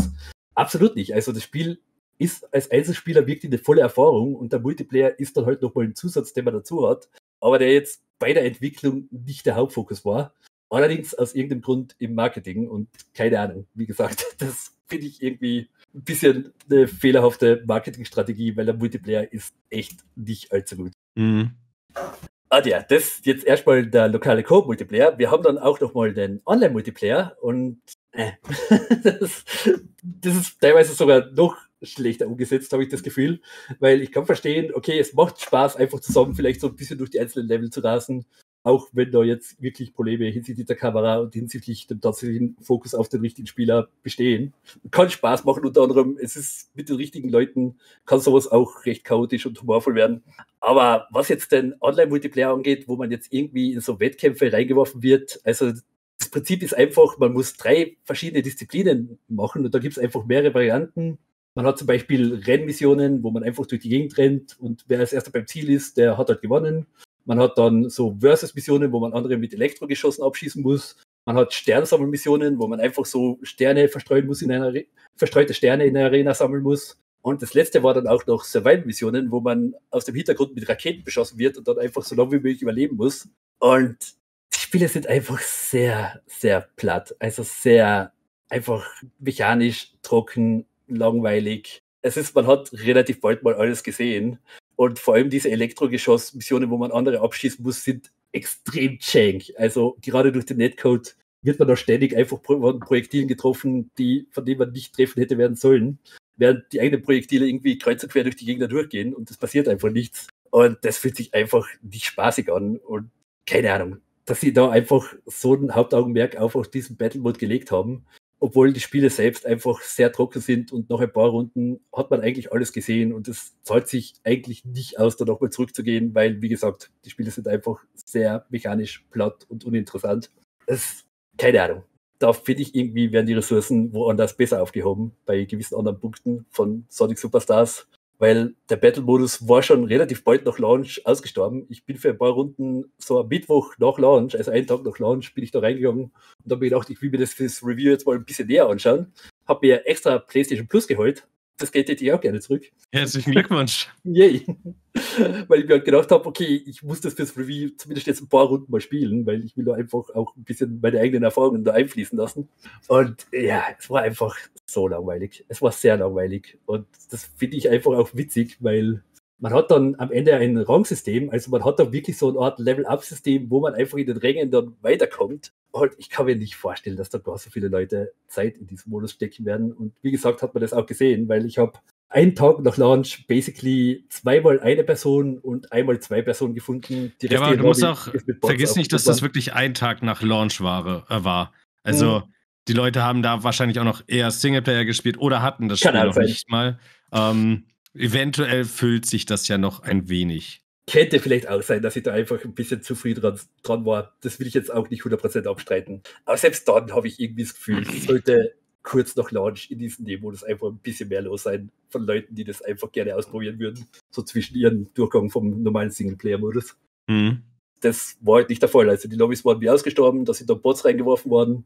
Und dann hat man die jeweils drei Disziplinen durchgespielt und es war einfach stinklangweilig. Und nach drei Runden habe ich gesagt, okay, ich habe basically alles gesehen. Der Modus ist einfach sehr unlustig und nicht allzu spaßig. Ja, was auch unlustig und nicht allzu spaßig ist, äh, sind die Achievements. Oh, Moment, eine Sache zum Battle-Modus wollte ich gerade noch erwähnen. Oh, David, du hast gerade dein Fazit gezogen, meine Güte. Mehr oder weniger, weil ich jetzt auf den anderen Book noch so ein bisschen weiterschwingen wollte. Weil man hat ja in Sonic Superstars auch den Customization-Aspekt nochmal. Also der ist ja auch ein essentieller Teil vom Battle-Modus selbst, wo man sich dann einfach aus so teilweise freischaltbaren Teilen so einen Roboter bauen kann, den man dann in den Battle-Modus in den Kampf schickt. Und ja, dafür ist halt alles Kacke. Ja, da eben. Das ist einfach das Ding, man sammelt da im Hauptspiel dann die Medaillen. Die sind kreuz und quer durch die Level verstreut und neben den Chaos Emeralds basically die einzigen Sammelgegenstände des Spiels. Und dementsprechend, klar, es kann hin und wieder witzig sein, da sich jetzt einen eigenen Roboter zu basteln, um dann paar Multiplayer zu spielen, aber will ich nicht mal sagen, dass das der Fall ist. Ja, das Problem ist, es ist halt alles abstrus teuer. Ja, also allein um den Roboter bauen zu können, braucht man schon 50 Medaillen, weil man den Prototypen kaufen muss dafür. Mhm. Der wirkt sich übrigens auch dann auf den Singleplayer aus, so ist fein und es gibt halt super viele Kostüme, aber alles ist so fucking teuer. Ja, man muss die Farben teilweise, um einfach dem Roboter verschiedene Farben zu verpassen für die einzelnen Körperteile, äh, muss man die Farben einzeln kaufen. Also man kann nicht eine Farbe kaufen und dort auf diese Farbe dann für alle Teile Zugriff, sondern die Farbe sind im Grunde Consumables, die Form. Und ja. das, die kosten, glaube ich, 10, 20 pro Stück. Ich weiß nicht, Woche 10, Woche 20. Bin zu viel. Ganz sicher. Es ist auf jeden Fall zu viel, ja. Weil bis man 20 Münzen im Singleplayer gesammelt hat, das dauert auch eine Weile. Da muss man auch ein paar Level durchrennen. Und ja, das ist einfach das einzig Positive, was ich an diesem Customization-Aspekt sehe, ist, dass man damit einen Bosskampf im Singleplayer-Modus beeinflussen kann. Das habe ich auch nicht gewusst, weil wenn man im Multiplayer-Menü schon ein bisschen rumspielt, dann verändert sich tatsächlich der Boss von Cyberstation entsprechend dem Design, den man da für Battle Mode ja, gebastelt hat. Dann hat man im Endeffekt einen Metal Sonic Bosskampf, was das essentiell sowieso von Anfang an ja. schon war, weil das ist halt wie ein Metal Sonic Bosskampf, wie wir den kennen. Ja, ganz genau. Das finde ich das einzige recht charmante Detail an diesem Customization-Aspekt. Könnte man aber, to be honest, auch kritisieren, weil es ist mhm. halt in Teilen schon eine 1 zu 1 Kopie von Metal Sonic im Bosskampf. Also, hm. ja. Nur, dass es halt nicht Metal Sonic ist. Es ist halt nur nicht Metal Sonic, ja. Und das hat dann halt die zweite Phase mit dem Riesenroboter. Aber ja, das ist. Ah, so Sonic Mania. Das ist so ziemlich der einzige Aspekt, für, das man, für den man diese Medaillen verwenden kann. Und Wirklich? Du gehst nicht darauf ein, dass die zweite Phase einfach Sonic Mania ist? Oh ja, natürlich. Stimmt. Sonic Mania doch dem Sonic Media Plus Patch dann. Ja, stimmt, stimmt. Ja, ja. Also auch wenn das ja. natürlich ein bisschen anders ist, ja, ist, ist mir auch bewusst. Mechanisch ein bisschen anders, aber klar, der Vergleich kann auf jeden Fall genommen werden. Aber nee, es ist einfach, keine Ahnung, da jetzt die Medaillen jetzt nur für diesen Customization-Aspekt zu verwenden oder dass der nur dafür verwendet werden kann, ist lahm, weil nicht alle Spieler wollen jetzt irgendwie Zeit in den Multiplayer stecken und abseits davon gibt es dann keine, keine Motivation, die Medaillen aufzusammeln, weil die bringen einen dann eigentlich absolut gar nichts. Und das ist dann auch fürs Leveldesign selbst schade, weil irgendwann denkt man sich einfach, okay, man hat alle Chaos Emeralds, warum jetzt großartig noch auf den Levels auf Entdeckungsreise gehen, wenn man eh noch die Medaillen kriegt. Also keine Ahnung, das ganze und System. Dafür, dafür gibt es einen Grund. Ah? Dafür, gibt es einen Grund, ja. Und das wäre dann halt mein nächster Punkt. Aber erzähl erst mal fertig. Nein, nein, ich meine, ich war eh basically am Ende. Es hat einfach schade, dass einfach ein Teil des Singleplayer allein dieses so stark auf diesen Multiplayer-Aspekt einfach der Fokus draufgelegt worden ist und die Medaillen nicht alternativ noch in der Lage waren, andere Sachen freizuschalten, wie, keine Ahnung, Concept Artwork, Musikstücke, whatsoever, wo man auch als Singleplayer ein bisschen mehr damit anfangen kann. Ja, aber ganz ehrlich, die Medaillen können dir halt auch einfach scheißegal sein und du verlierst eigentlich nichts von der Experience des Spiels. Nee, absolut nicht. Aber das finde ich ein Kritikpunkt, weil eigentlich wäre es ja toll, wenn man in den Levels was zu entdecken hätte, was dann wirklich auch positiv das Spielerlebnis beeinflussen würde, weil man sich damit einfach coole Sachen freischalten kann oder was weiß ich. Kannst du ja in der Theorie, das ist halt noch nicht zu Ende gedacht. Mhm, eben. Man also es ist halt irgendwie freischalten, wenn man sich für diesen einen Aspekt des Spiels dann wirklich interessiert. Also ehrlich, es ist besser, als was die roten Ringe jemals getan haben. I guess. Das kann man auch sagen, ja. Also die roten Ringe waren halt nur ein Achievement-Dingens. Äh, und ich glaube in Sonic 4, ach doch, da hat es auch ein Achievement gegeben. Mhm. Und ja, manchmal hast du dann noch Unlockables gehabt oder sowas, aber am Ende finde ich das hier besser als rote Ringe einfach zu sammeln, weil die oh. Dinger respawnen. I guess, ja. Aber, und jetzt komme ich zu diesen Erfolgen und Trophäen des Spiels. Aha. Ich hoffe, die lange Pause schneide ich raus, bevor ich das veröffentliche. ich mich gerade echt zurückhalten musste. Oh nein. Ähm, ja, ein Punkt, der ja für doch einige immer mal wieder interessant ist, ist, wie es denn mit den ähm, Erfolgen und Trophäen äh, auf den Xbox- bzw. PlayStation-Konsolen aussieht. Und das sieht so aus, dass erstmal ein großer Teil relativ straightforward ist. Das ist halt, schließe die Zone ab, schließe die Zone ab, schließe die Zone ab, verwandle dich in Supersonic, äh, benutze die Emerald Power, benutze die Emerald Power. Das ist halt ugh, nervig. Ähm, aber dann kommt es halt irgendwann zu dem, was halt, oh boy, äh, einfach nerviges, absolut nerviges Grinding ist. Mhm. Wie typisch. Und ich bekomme gerade eine Nachricht, das Jugendwort des Jahres ist Goofy. okay. Keiner Goofy. Das hat jetzt nicht so den Riss. Nicht, nicht ganz, aber ich verwende selbst auch relativ häufig, also kann ich es diesmal ein bisschen verstehen. Nein, aber so, dann, dann kommen halt wieder so diese nervigen Achievements, die ich seit, seit Urzeiten hasse, wo einfach kein spielerischer Mehrwert hintersteckt. Sowas wie, sammle 10.000 Ringe. Yay. Oder äh, verwandle Lagoon Cities äh, Ziel, Zielpfosten in einen Fruchthaufen was halt basically einfach nur heißt, ja, schlag halt mit Amy 100 Früchte durch die Gegend in dem Level und sterbe mhm. dabei nicht. Okay, mhm. gut, das ist schon ein bisschen spielerischer Mehrwert, aber dann benutze Sonic's Drop Dash, um 100 Gegner zu besiegen. Benutze Tails Luftattacke, um 100 Gegner zu besiegen. Benutze Knuckles Gleiten, um 100 Gegner zu besiegen. Benutze Amy's Hammer, äh, Hammer um 100 Gegner zu besiegen. Benutze Trips Doppel, äh, Doppelsprung, um 100 Gegner zu besiegen. Und ich denke mir so, was soll denn diese Scheiße? Ja. Yeah das zieht doch alles nur komplett in die Länge und ich habe auf dieses Spiel keinen Bock, das auf diese Art zu spielen. So, was sind da das für Achievements? Das ist ja, das gibt doch einem nichts, wenn man jetzt 100 Gegner beim Gleiten besiegt. Mhm. Mach doch aus Achievements irgendwas Cooles, irgendwie Sammelgegenstände, die ich halt einsammeln kann, so wie alle roten Ringe, so, so nervig das war. Dadurch habe ich immer neue Levelaspekte kennengelernt. Ja. Und dann gibt es halt so, äh, ja, sammle 100 Medaillen von Bonus-Stages. Das sind die, äh, wenn man 50 Ringe an einem Checkpoint hat, da reingeht äh, und dann drei Ebenen hat, wo man die Medaillen sammeln kann.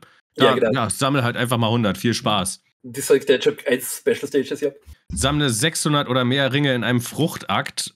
Ist fair, weil die, da ist es teilweise schon echt schwierig, viele Ringe zu bekommen und da muss man dann halt überlegen. So, das ist wenigstens was challenging mhm. ist. Äh, besiege 1000 Gegner. Schön. Mhm wieder, wieder einfach nur Grinding und ja, äh, alle, alle goldenen Gegner. Und goldene Gegner sind quasi die neuen roten Sternringe. Die sind halt.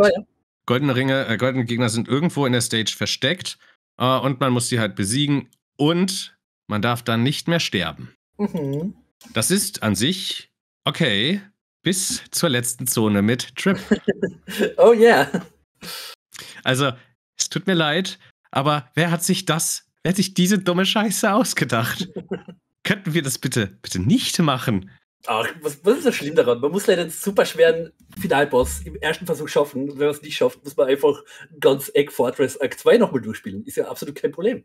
Ja, und wie gesagt, das sind halt so die Achievements, die durchaus nervig sein können. Ansonsten ist die Liste relativ einfach. Es mhm. ist halt in Teilen wirklich echt nur nerviges Gegrinde. Und das, sowas ja. mag ich nicht. Ja, ist auch der Grund, warum ich mit den Achievements meistens einfach kein Deut gebe. Na, bei Sonic-Spielen, bei Sonic-Spielen, ich habe halt alle Sonic-Spiele auf 100%, abgesehen von Sonic Adventure 2. ähm, Und das ist schon dann, wenn da jetzt halt Sonic Superstars in der Liste, Liste drin steht mit meinen jetzt gerade 60 Prozent, denke ich mir schon so, äh. da geht noch was. Was halt kacke ist, äh, ist, dass ich ja dann auch noch die PlayStation 5 Version habe. Und, also haben werde, irgendwann mal. Ne, ich habe die jetzt noch nicht, aber ich werde sie mir definitiv holen, weil ich bin halt ein Sammler, ja. Mhm. Und dann darf ich das da nochmal machen, weil das ist halt mein eigener Ehrgeiz. Ja. Und dann spiele ich die PS4-Version, wo ich das dann nochmal machen darf. Yay. Weil, oh, warte, das, das checke ich mal ganz kurz gegen, aber ich rechne damit, dass das so wie bei Sonic Origins ist und bei Sonic Frontiers. Ja, es gibt einmal Sonic Superstars und Sonic Superstars PS4. Das sind zwei separate Trophy-Lists. Oh, no. ja, genau deswegen bin ich drüber nicht. Ich werde wahrscheinlich die PS4-Version spielen, den Spielstand übertragen auf die PS5 äh, und ich hoffe, das funktioniert einfach dann, dass dann alle, alle Trophäen anlocken. Weil, ja. sorry, aber nee. Ich mache die Scheiße nicht dreimal. Oh Gott, ich habe auch noch die Steam-Version. Viermal. Äh, ja. Nee, also die Achievements. Äh, die mhm. Hälfte ist halt einfach straightforward, ja, spiel halt das Spiel durch und die andere Hälfte ist Grinding. Äh, mehr so teilweise challenging und äh, die Hälfte davon ist halt einfach mhm. Grinding-Scheiße. Ja. Und sowas mag ich nicht. Understandable. So, was ist jetzt das Fazit für Sonic Superstars? Ja, wir sollten langsam Richtung Fazit kommen, weil ich glaube, wir wollten eigentlich eine 3-Stunden-Folge vermeiden, aber irgendwie sind wir ja, ups. dran. Ups. Also, darf ich zuerst oder willst du zuerst? Warte, heraus. Also bei allem, was ich jetzt die letzten äh, Stunden gesprochen habe, muss ich halt leider sagen, dass Sonic Superstars ein Spiel ist, was mir aus persönlicher Sicht, jetzt nicht auf, aus objektiver Sicht, sondern aus persönlicher Sicht, äh, ist es halt einfach so, es ist mir völlig egal. Ich mhm. habe, ich, ich habe jetzt irgendwie, ich finde das nicht scheiße, ich finde es aber auch nicht gut. Es ist halt absolute Durchschnittskost. Ich habe jetzt nicht übermäßig Bock, es zu spielen. Also tatsächlich habe ich meistens keinen Bock, das zu spielen, was aber nicht daran liegt, dass es schlecht ist, sondern einfach, dass ich dem Spiel gegenüber absolut keine Emotionen empfinde. Es mhm. hat durchaus ein paar Highpoints, wie beispielsweise Press Factory Act 1 fand ich sehr cool. Ähm, das, das Finale, die Egg, äh, Egg, Egg Fortress Zone, mhm. sehr cool. Ähm, ein paar Soundtrack-Highlights sind auch dabei, aber wenn ich schon über ein Sonic-Spiel sage, dass der Soundtrack mitunter der schlechteste Aspekt des Spiels ist, es tut mir leid, wo sind denn wir gelandet? Ja, da ist irgendwas schief gegangen. So, das ist normalerweise bei, bei vielen Sonic-Spielen das, was als das einzig Gute hervorgehoben wird in Reviews und so. Und jetzt ist mhm. das irgendwie das, was mein Empfinden des Spiels nochmal ordentlich runterdrückt. Mhm. Ähm, es ist auf keinen Fall die 60 Euro wert. Und da werde ich auch, äh, bei, bei, dieser Meinung werde ich bleiben. Das Spiel ist keine 60 Euro wert. Es tut mir leid. Man hat es da fünf Stunden, hat meinen ersten Playthrough durch, weitere fünf Stunden plus äh, drei Stunden Final Boss hat man halt den zweiten. ähm, und dann strecken sie halt die Spielzeit mit irgendwelchen richtig dummen Achievements. Ähm, und es tut, es, ich finde es halt ultra schade, weil ich hätte gerne falsch gelegen mit dieser Einschätzung von Sonic Superstars. Mhm. Ich habe von Anfang an gesagt, dieses Spiel wird keine 60 Euro wert sein und es ist keine 60 Euro wert. Und ja, da können sie jetzt noch so sehr sagen, das sind halt zwölf Zonen. Die Hälfte der Zonen hat nur einen Act. Also nee, fast, nicht, nicht die Hälfte, aber ein ja, dann, ja. ja, gut, das war jetzt natürlich ein bisschen übertreiben, aber mhm. so brich es runter und du hast Maximum neun Zonen. Mhm. Wenn du jetzt sagst, wirklich zwei Acts, äh, zwei Acts sind eine Zone. Klar, du hast dann manchmal noch die Bonus-Acts, aber wenn ich das beispielsweise mit Sonic Mania vergleiche, ist jetzt kein fairer Vergleich, weil Sonic Mania hat wie viel gekostet? 30? 20? 20, 20 zum Launch, ja. Und 30 dann mit Plus, wenn man es noch, noch gekauft hat, physisch. Ja, und jetzt sitzen wir halt hier mit Sonic Superstars, was ein eindeutig kleineres Spiel ist für 60, mhm. was in so ziemlich sämtlichen Punkten schlechter ist als Mania. Und das soll jetzt nicht so richtig zerstörerisch klingen, äh, sondern einfach Mania ist aus meiner Sicht das bessere Spiel. Mhm. Und da kommt Superstars halt nicht im Ansatz ran, leider, auch wenn es halt okay ist, aber es ist halt nur okay und es ist nicht 60 Euro okay. Mhm.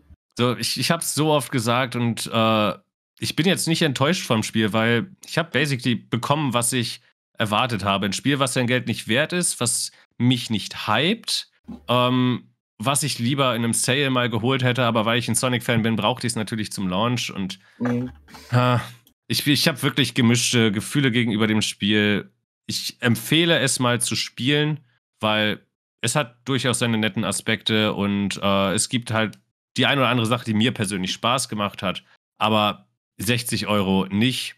Und wenn ich jetzt meine persönliche Meinung ein bisschen außen vor lasse und versuche, das objektiver zu betrachten, äh, einfach mal runtergebrochen auf eine Sternewertung, es ist halt eine 7, mhm. denke ich. So, also ne, sagen wir eine 6 bis 7, weil es ist halt, es geht halt nicht über Durchschnittskosten hinaus. Und das finde ich schade, weil das Potenzial da gewesen wäre, dass mehr draus wird. Aber vielleicht der Nachfolger. Mal gucken. Ja. Oder der obligatorische Plus-DLC vielleicht irgendwann. Ja. Wer weiß. Und jetzt übergebe ich das Wort an David für sein Fazit, was deutlich positiver wahrscheinlich ausfallen wird als meins. deutlich, I don't know, ob ich deutlich positiver jetzt sagen würde. Weil, wie gesagt, deiner objektiven Darstellung würde ich mich größtenteils anschließen. Allerdings, ich persönlich habe durchaus sehr viel Spaß mit Sonic Superstars gehabt. Und das liegt für mich einfach größtenteils daran, dass das Kerngameplay einfach wirklich gut übernommen und umgesetzt wurde. Das auf es, jeden Fall, ja.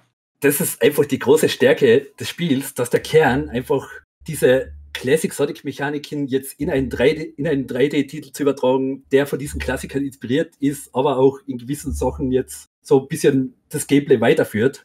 Äh, das hat für mich wirklich größtenteils echt gut funktioniert. Mir gefällt mir gefällt einfach die Physics, mir gefällt, mir gefällt sehr, wie sich die Charaktere einfach anfühlen, welches Gewicht die Charaktere haben. Sie lassen sich wirklich sehr toll durch die einzelnen Level steuern. Und das Leveldesign von den einzelnen Leveln, auch dann im späteren Verlauf, was ja so ein bisschen meine Sorge war, auch im späteren Verlauf ist es relativ offen, relativ momentumbasiert. Und man ist einfach, das Spiel hat einfach für den Großteil der regulären Stages echt einen guten Flow einen Flow, den ich wirklich mit den klassischen Sonic-Spielen vergleichen würde und auch mit Sonic Media vergleichen würde. Es kommt nicht an die Höhen ran, die jetzt Sonic 3 und Knuckles und Sonic Media zum Beispiel gehabt haben. Aber für mich reiht es sich trotzdem jetzt auch durchwegs, was Classic Sonic angeht, in eines der besseren Spiele von dieser Ära ein, wenn man da jetzt wirklich direkt den Vergleich ziehen würde. Also für mich wäre es so auf einer Stufe, wenn nicht gar ein bisschen besser wie Sonic CD. Nicht ganz Sonic 2, aber so. Was? Ja, also mechanisch. Der Podcast, Podcast ja. ist beendet. Nö. das mache ich nicht mit. Nee, das, das gebe ich dir nicht. Doch. Nein, ist okay. Es ist deine Meinung. Wie gesagt, also mechanisch gefällt mir Sonic Superstars einfach vom Leveldesign her auch besser als Sonic CD. Sonic ja, gut, CD Sonic CD hatte aber auch einen sehr anderen Approach an das Leveldesign. Das darf man ja nicht, nicht aus der Acht lassen. Genau, der Vergleich, der Vergleich ist wahrscheinlich auch ein bisschen unfair.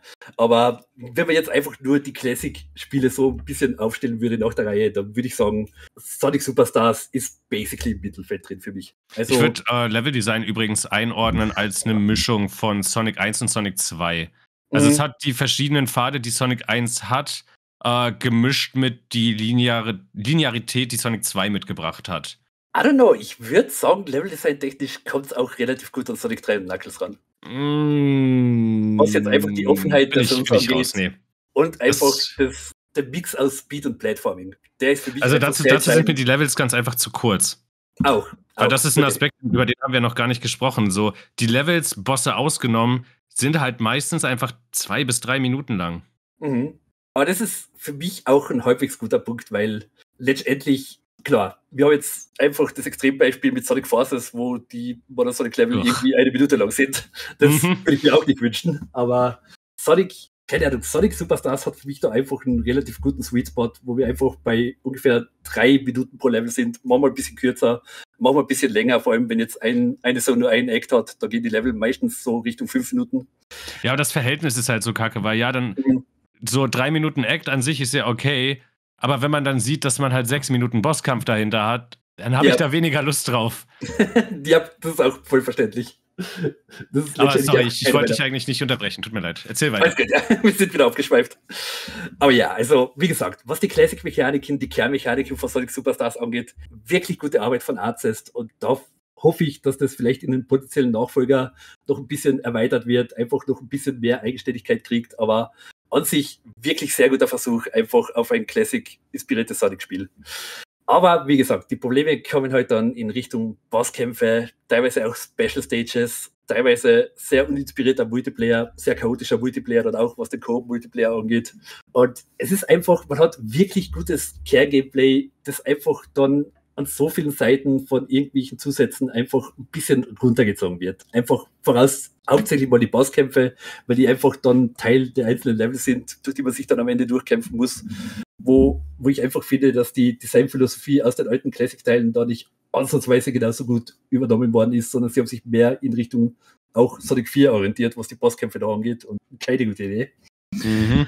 Und das drückt das Spielerlebnis einfach doch ein bisschen nach unten. Nicht weit genug, dass ich jetzt sagen würde, okay, Sonic Superstars sollte absolut in überhaupt keiner Form gespielt werden. Absolut nicht. Ich habe trotzdem sehr viel Spaß mit dem Spiel gehabt. Aber es ist halt, es drückt einfach das Gesamterlebnis ein bisschen nach unten. Man hat einfach wirklich ein extrem starkes Grundgerüst, aber letztendlich ist es nicht so gut erbaut worden, dass da ein echt schönes Haus draus geworden ist, sondern keine Ahnung. Da ist, da ist ein bisschen Verfall mit drin. Und alles in allem würde ich jetzt Sternbewertung Sonic Superstars einfach mit einer dicken Fanbrille auf dem Kopf, würde ich sagen, 7 bis 5 bis 8 Punkte, aber eine 7 bis 10 wäre wahrscheinlich objektiv eine relativ faire Bewertung, weil es einfach zu viele Sachen gibt, die das ganze Erlebnis ein bisschen nach unten drücken. Warte mal, das musst du mir jetzt nochmal erklären. Äh, mit Fanbrille auf ist es eine 7,5 bis 8 Punkte Wertung, aber mhm. ohne Fanbrille ist es eine 7 bis 10. Ah, nee, eine 7. Eine 7 von 10. Habe ich bis gesagt? Ach, ja, du hast bis gesagt. ah, sorry. nee, 7 von 10 natürlich, sorry. Okay. Mhm. Aber also, wie gesagt, ja, wie gesagt, was die Punktewertung bei mir halt beeinflusst, ist eben der, der Preistag. Äh, und yeah, für 60 Euro will ich da keine 7 hinschreiben, leider. Das ist auch das Ding. Ich würde auch sagen, 60 Euro ist Sonic Superstars letztendlich nicht wert. Es wirkt, weil wenn man jetzt einfach gegenüberstellt. Man hat mit Sonic Media einfach ein nochmal so viel besseres Classic-Erlebnis auch. Für ein Drittel des Preises.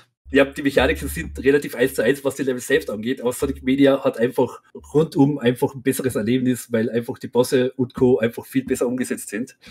Und da hat man Sonic Media für 20 Euro gekauft und einfach viel mehr aus dem Spiel rausholen können, als jetzt Sonic Superstars mit 60 Euro. Und ja, das funktioniert einfach nicht. Der Preis funktioniert einfach nicht, wenn man den jetzt mit anderen Sonic-Spielen derselben Art so ein bisschen gegenüberstellt.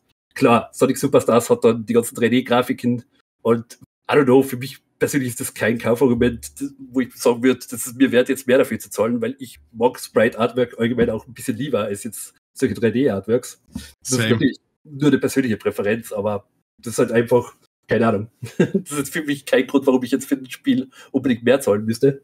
Wahrscheinlich eher auf Sachen wie Wiederspielwert und alles Mögliche. Aber ja, letztendlich würde ich sagen, Superstars 60 Euro nicht ganz. Ich würde sagen, 40 Euro rum ist halbwegs fair. Also, wenn man jetzt, ich gehe mal ja, also davon aus, dass mit, das ich, ich, berechne, ich berechne mal Inflation mit ein. Also, ich mhm. würde vielleicht auf 50 gehen. Ja. Ähm, weil wir wissen leider alles ist teurer geworden. Das ist nun mal so. Auch Spieleentwicklung wird nicht billiger. Mhm. Ähm, aber ich, ich gehe halt Maximum äh, so 50, höher nicht. Ja. Wie gesagt, also so 40 bis 50 Euro würde ich durchaus sagen, ist ein fairer Preis für das, was Sonic Superstars einbieten kann. Auch eben für den relativ starken Wiederspielwert, den das Spiel natürlich als ein Klassik-Spiel automatisch so ein bisschen hat. Es macht einfach Spaß, einfach immer schnellere Wege zu finden und mit verschiedenen Charakteren durch die Zones zu rennen, um da einfach dann, keine Ahnung, ein bisschen leicht anderes Spielerlebnis zu haben. Das ist auf jeden Fall auch mit Sonic Superstars gegeben. Aber ja, ich würde mal behaupten, es wird nicht lange dauern, bis die ersten Sonic Superstars Sales auftauchen. Und für alle, die gewartet haben, wo 60 Euro ein bisschen zu abschreckend war, kann ich sagen, Richtung 40 Euro, glaube ich, wird sich schon rentieren für Classic Sonic Fans vor allem. Man Weil, muss halt, fairerweise muss ich jetzt aber auch noch äh, den Disclaimer dazu lassen, ich habe keine 60 Euro für das Spiel bezahlt. Ich habe, mhm. äh, okay, ja doch, für die PC-Version schon, aber sowohl Xbox als auch Switch waren bei Amazon, Hashtag not sponsored, schon während des Vorbestellerzeitraums auf 50 Euro reduziert. Mhm. Äh, heißt, ich habe für beide ähm, grob auch nur 50 Euro bezahlt. Wenn ja. ich jetzt gucke, PlayStation 5 47,99, Switch 47,99. Ähm, warte, ich muss mal kurz das Ding aufmachen, weil ich die restlichen Plattformen nicht sehe. Äh, PlayStation 4 47,99, äh, Xbox 47,99. Also es ist schon für unter 50 zu haben. Ja. Super Mario Bros. Wonder allerdings auch. ähm, ja, und das kam vor ein paar wenigen Tagen raus, ja. Ach, und Sonic Superstars nicht, oder was? das vor ein paar mehr Tagen inzwischen. Ja, aber ne, du ah, weißt, ja. was ich meine. Ja, keine Frage. Aber nee, trotz allem würde ich sagen, habe ich sehr viel Spaß mit Sonic Superstars gehabt. Und es hat Laune gemacht, auf jeden Fall für den Großteil des Spiels. Aber wie gesagt, so gewisse Kleinigkeiten, die sich einfach sehr stark während dem Durchgang summiert haben, die haben das ganze Erlebnis einfach ein bisschen nach unten gerückt. Und deswegen kann ich jetzt nicht behaupten, dass Sonic Superstars im Ansatz an ein Spielerlebnis rankommt, wie Sonic 3 und Knuckles oder Sonic Media. Aber wie gesagt, in Sachen Classic Sonic Gameplay würde ich es ungefähr ins Mittelfeld stellen. Vielleicht ins etwas schlechtere Mittel. Also schlechter als Sonic 1 ist es nicht. Nee, nee, auf keinen Fall. Ja, und das war's mit unserer doch sehr ausschweifenden Diskussion zu Sonic Superstars. Ja, wie gesagt, wir haben ja ursprünglich potenziell schon vorgehabt, dass Fasti heute mit dabei ist. Ich weiß nicht, wie lange das gedauert hätte, wenn wir da jetzt zu dritt gesessen wären. Ja, ich meine, gut, ich muss auch dazu sagen, ich habe dich halt schon häufiger auch unterbrochen, äh, um dann da irgendwie was einzuwerfen. Es tut mir leid. Alles gut, kein Problem. Das ist ja auch eine interessante Diskussionsdynamik in einem.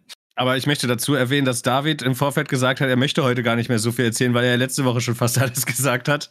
Same, ja, aber das war halt im Sinne von, wenn Fast jetzt dabei gewesen wäre, dann Ja. hätte ich halt euch beiden das Wort überlassen. Und jetzt allerdings sind wir zu zweit, da muss ich schon wieder ein bisschen mitreden. ich kann jetzt nicht drei Stunden einfach Text geben, wo ich kaum was dazu sage. Oh, das wäre nicht das erste Mal. Ich meine, was? wow.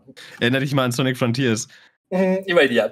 Weil ich habe das irgendwie gefühlt fünf Wochen vor dir durchgehabt. Mhm.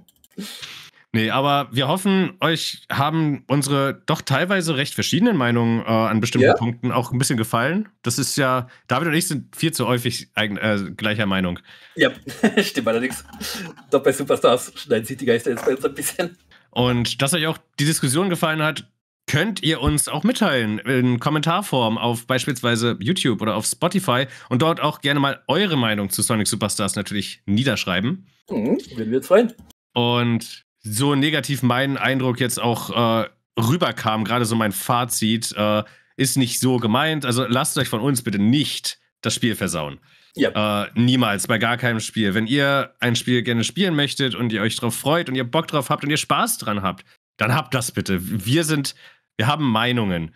Ja, Und, haben ähm, einfach der Meinung, wir sind keine Autorität, was jetzt Sonic the Hedgehog angeht, in absolut keiner Form. Natürlich, sowas wie Technik und sowas, äh, das betrachten wir hier auch immer relativ objektiv. Und ich habe auch versucht, jetzt in dieser Folge, und das versucht David eigentlich auch immer, ein bisschen äh, das Fan, also die eigene Meinung vom Objektiven ein bisschen zu trennen und da Mhm. beide Blickpunkte einzunehmen. Gelingt natürlich nicht immer gut, weil man kriegt die eigene Meinung nun mal nicht ausgeklammert komplett. Es funktioniert Ja. einfach nicht. So, wir sind Menschen. Und wir sind eine Fanseite, also ja. Ja. Und freut euch auch noch auf das schriftliche Review, was vom David im Laufe der Woche wahrscheinlich kommen wird. Denn hoffe, der ja. hat wieder sehr, sehr viel Arbeit reingesteckt und das könnt ihr dann auf spindash.de natürlich nachlesen. Mhm. Am Donnerstag um 20 Uhr auf twitch.tv slash rookie185 werden wir Sonic Superstars weiterspielen und dann zumindest die normale Story beenden und wie wir dann mit Trips Geschichte verfahren. Das werden wir noch sehen. Genau, schauen wir dann. Und ja, in diesem Sinne bleibt mir nichts mehr zu sagen, außer liken, teilen, kommentieren.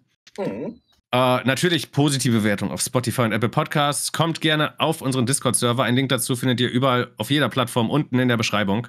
Genau. Und da freuen wir uns immer über neue Leute in der Community. Ihr könnt hier mit vielen, vielen anderen über Sonic diskutieren. Ihr könnt mit uns diskutieren über Sonic und über andere Dinge. Dort auch Feedback dalassen an die Folge. Und wenn ihr das nicht so öffentlich machen wollt, haben wir sogar eine E-Mail-Adresse, nämlich godderpodcast.gmail.com. Schaue ich doch regelmäßig rein. Und ja, jetzt macht es nicht gut, macht es besser. Wir verabschieden uns mit äh, dem Outro-Song, gesungen von Zebolabs, gespielt von der Band Das Güldene Loch. Bis nächste Woche. Auf Wiedersehen. Mhm. Macht es gut. Habt eine schöne Woche. Bis dann. Igel, den schnellsten Igel auf dieser Welt, der einfach allen hilft und danach macht, was ihm gefällt. Sonic hat Spiele, Filme, Serien und noch mehr. Sich das alles zu merken, fällt mir schwer. Doch zum Glück hab ich Ruki und den Dev dabei. Die sind ein wahres Enzyklopädia, die zwei. Drum abonniert, damit ihr nichts mehr verpasst und schaltet ein.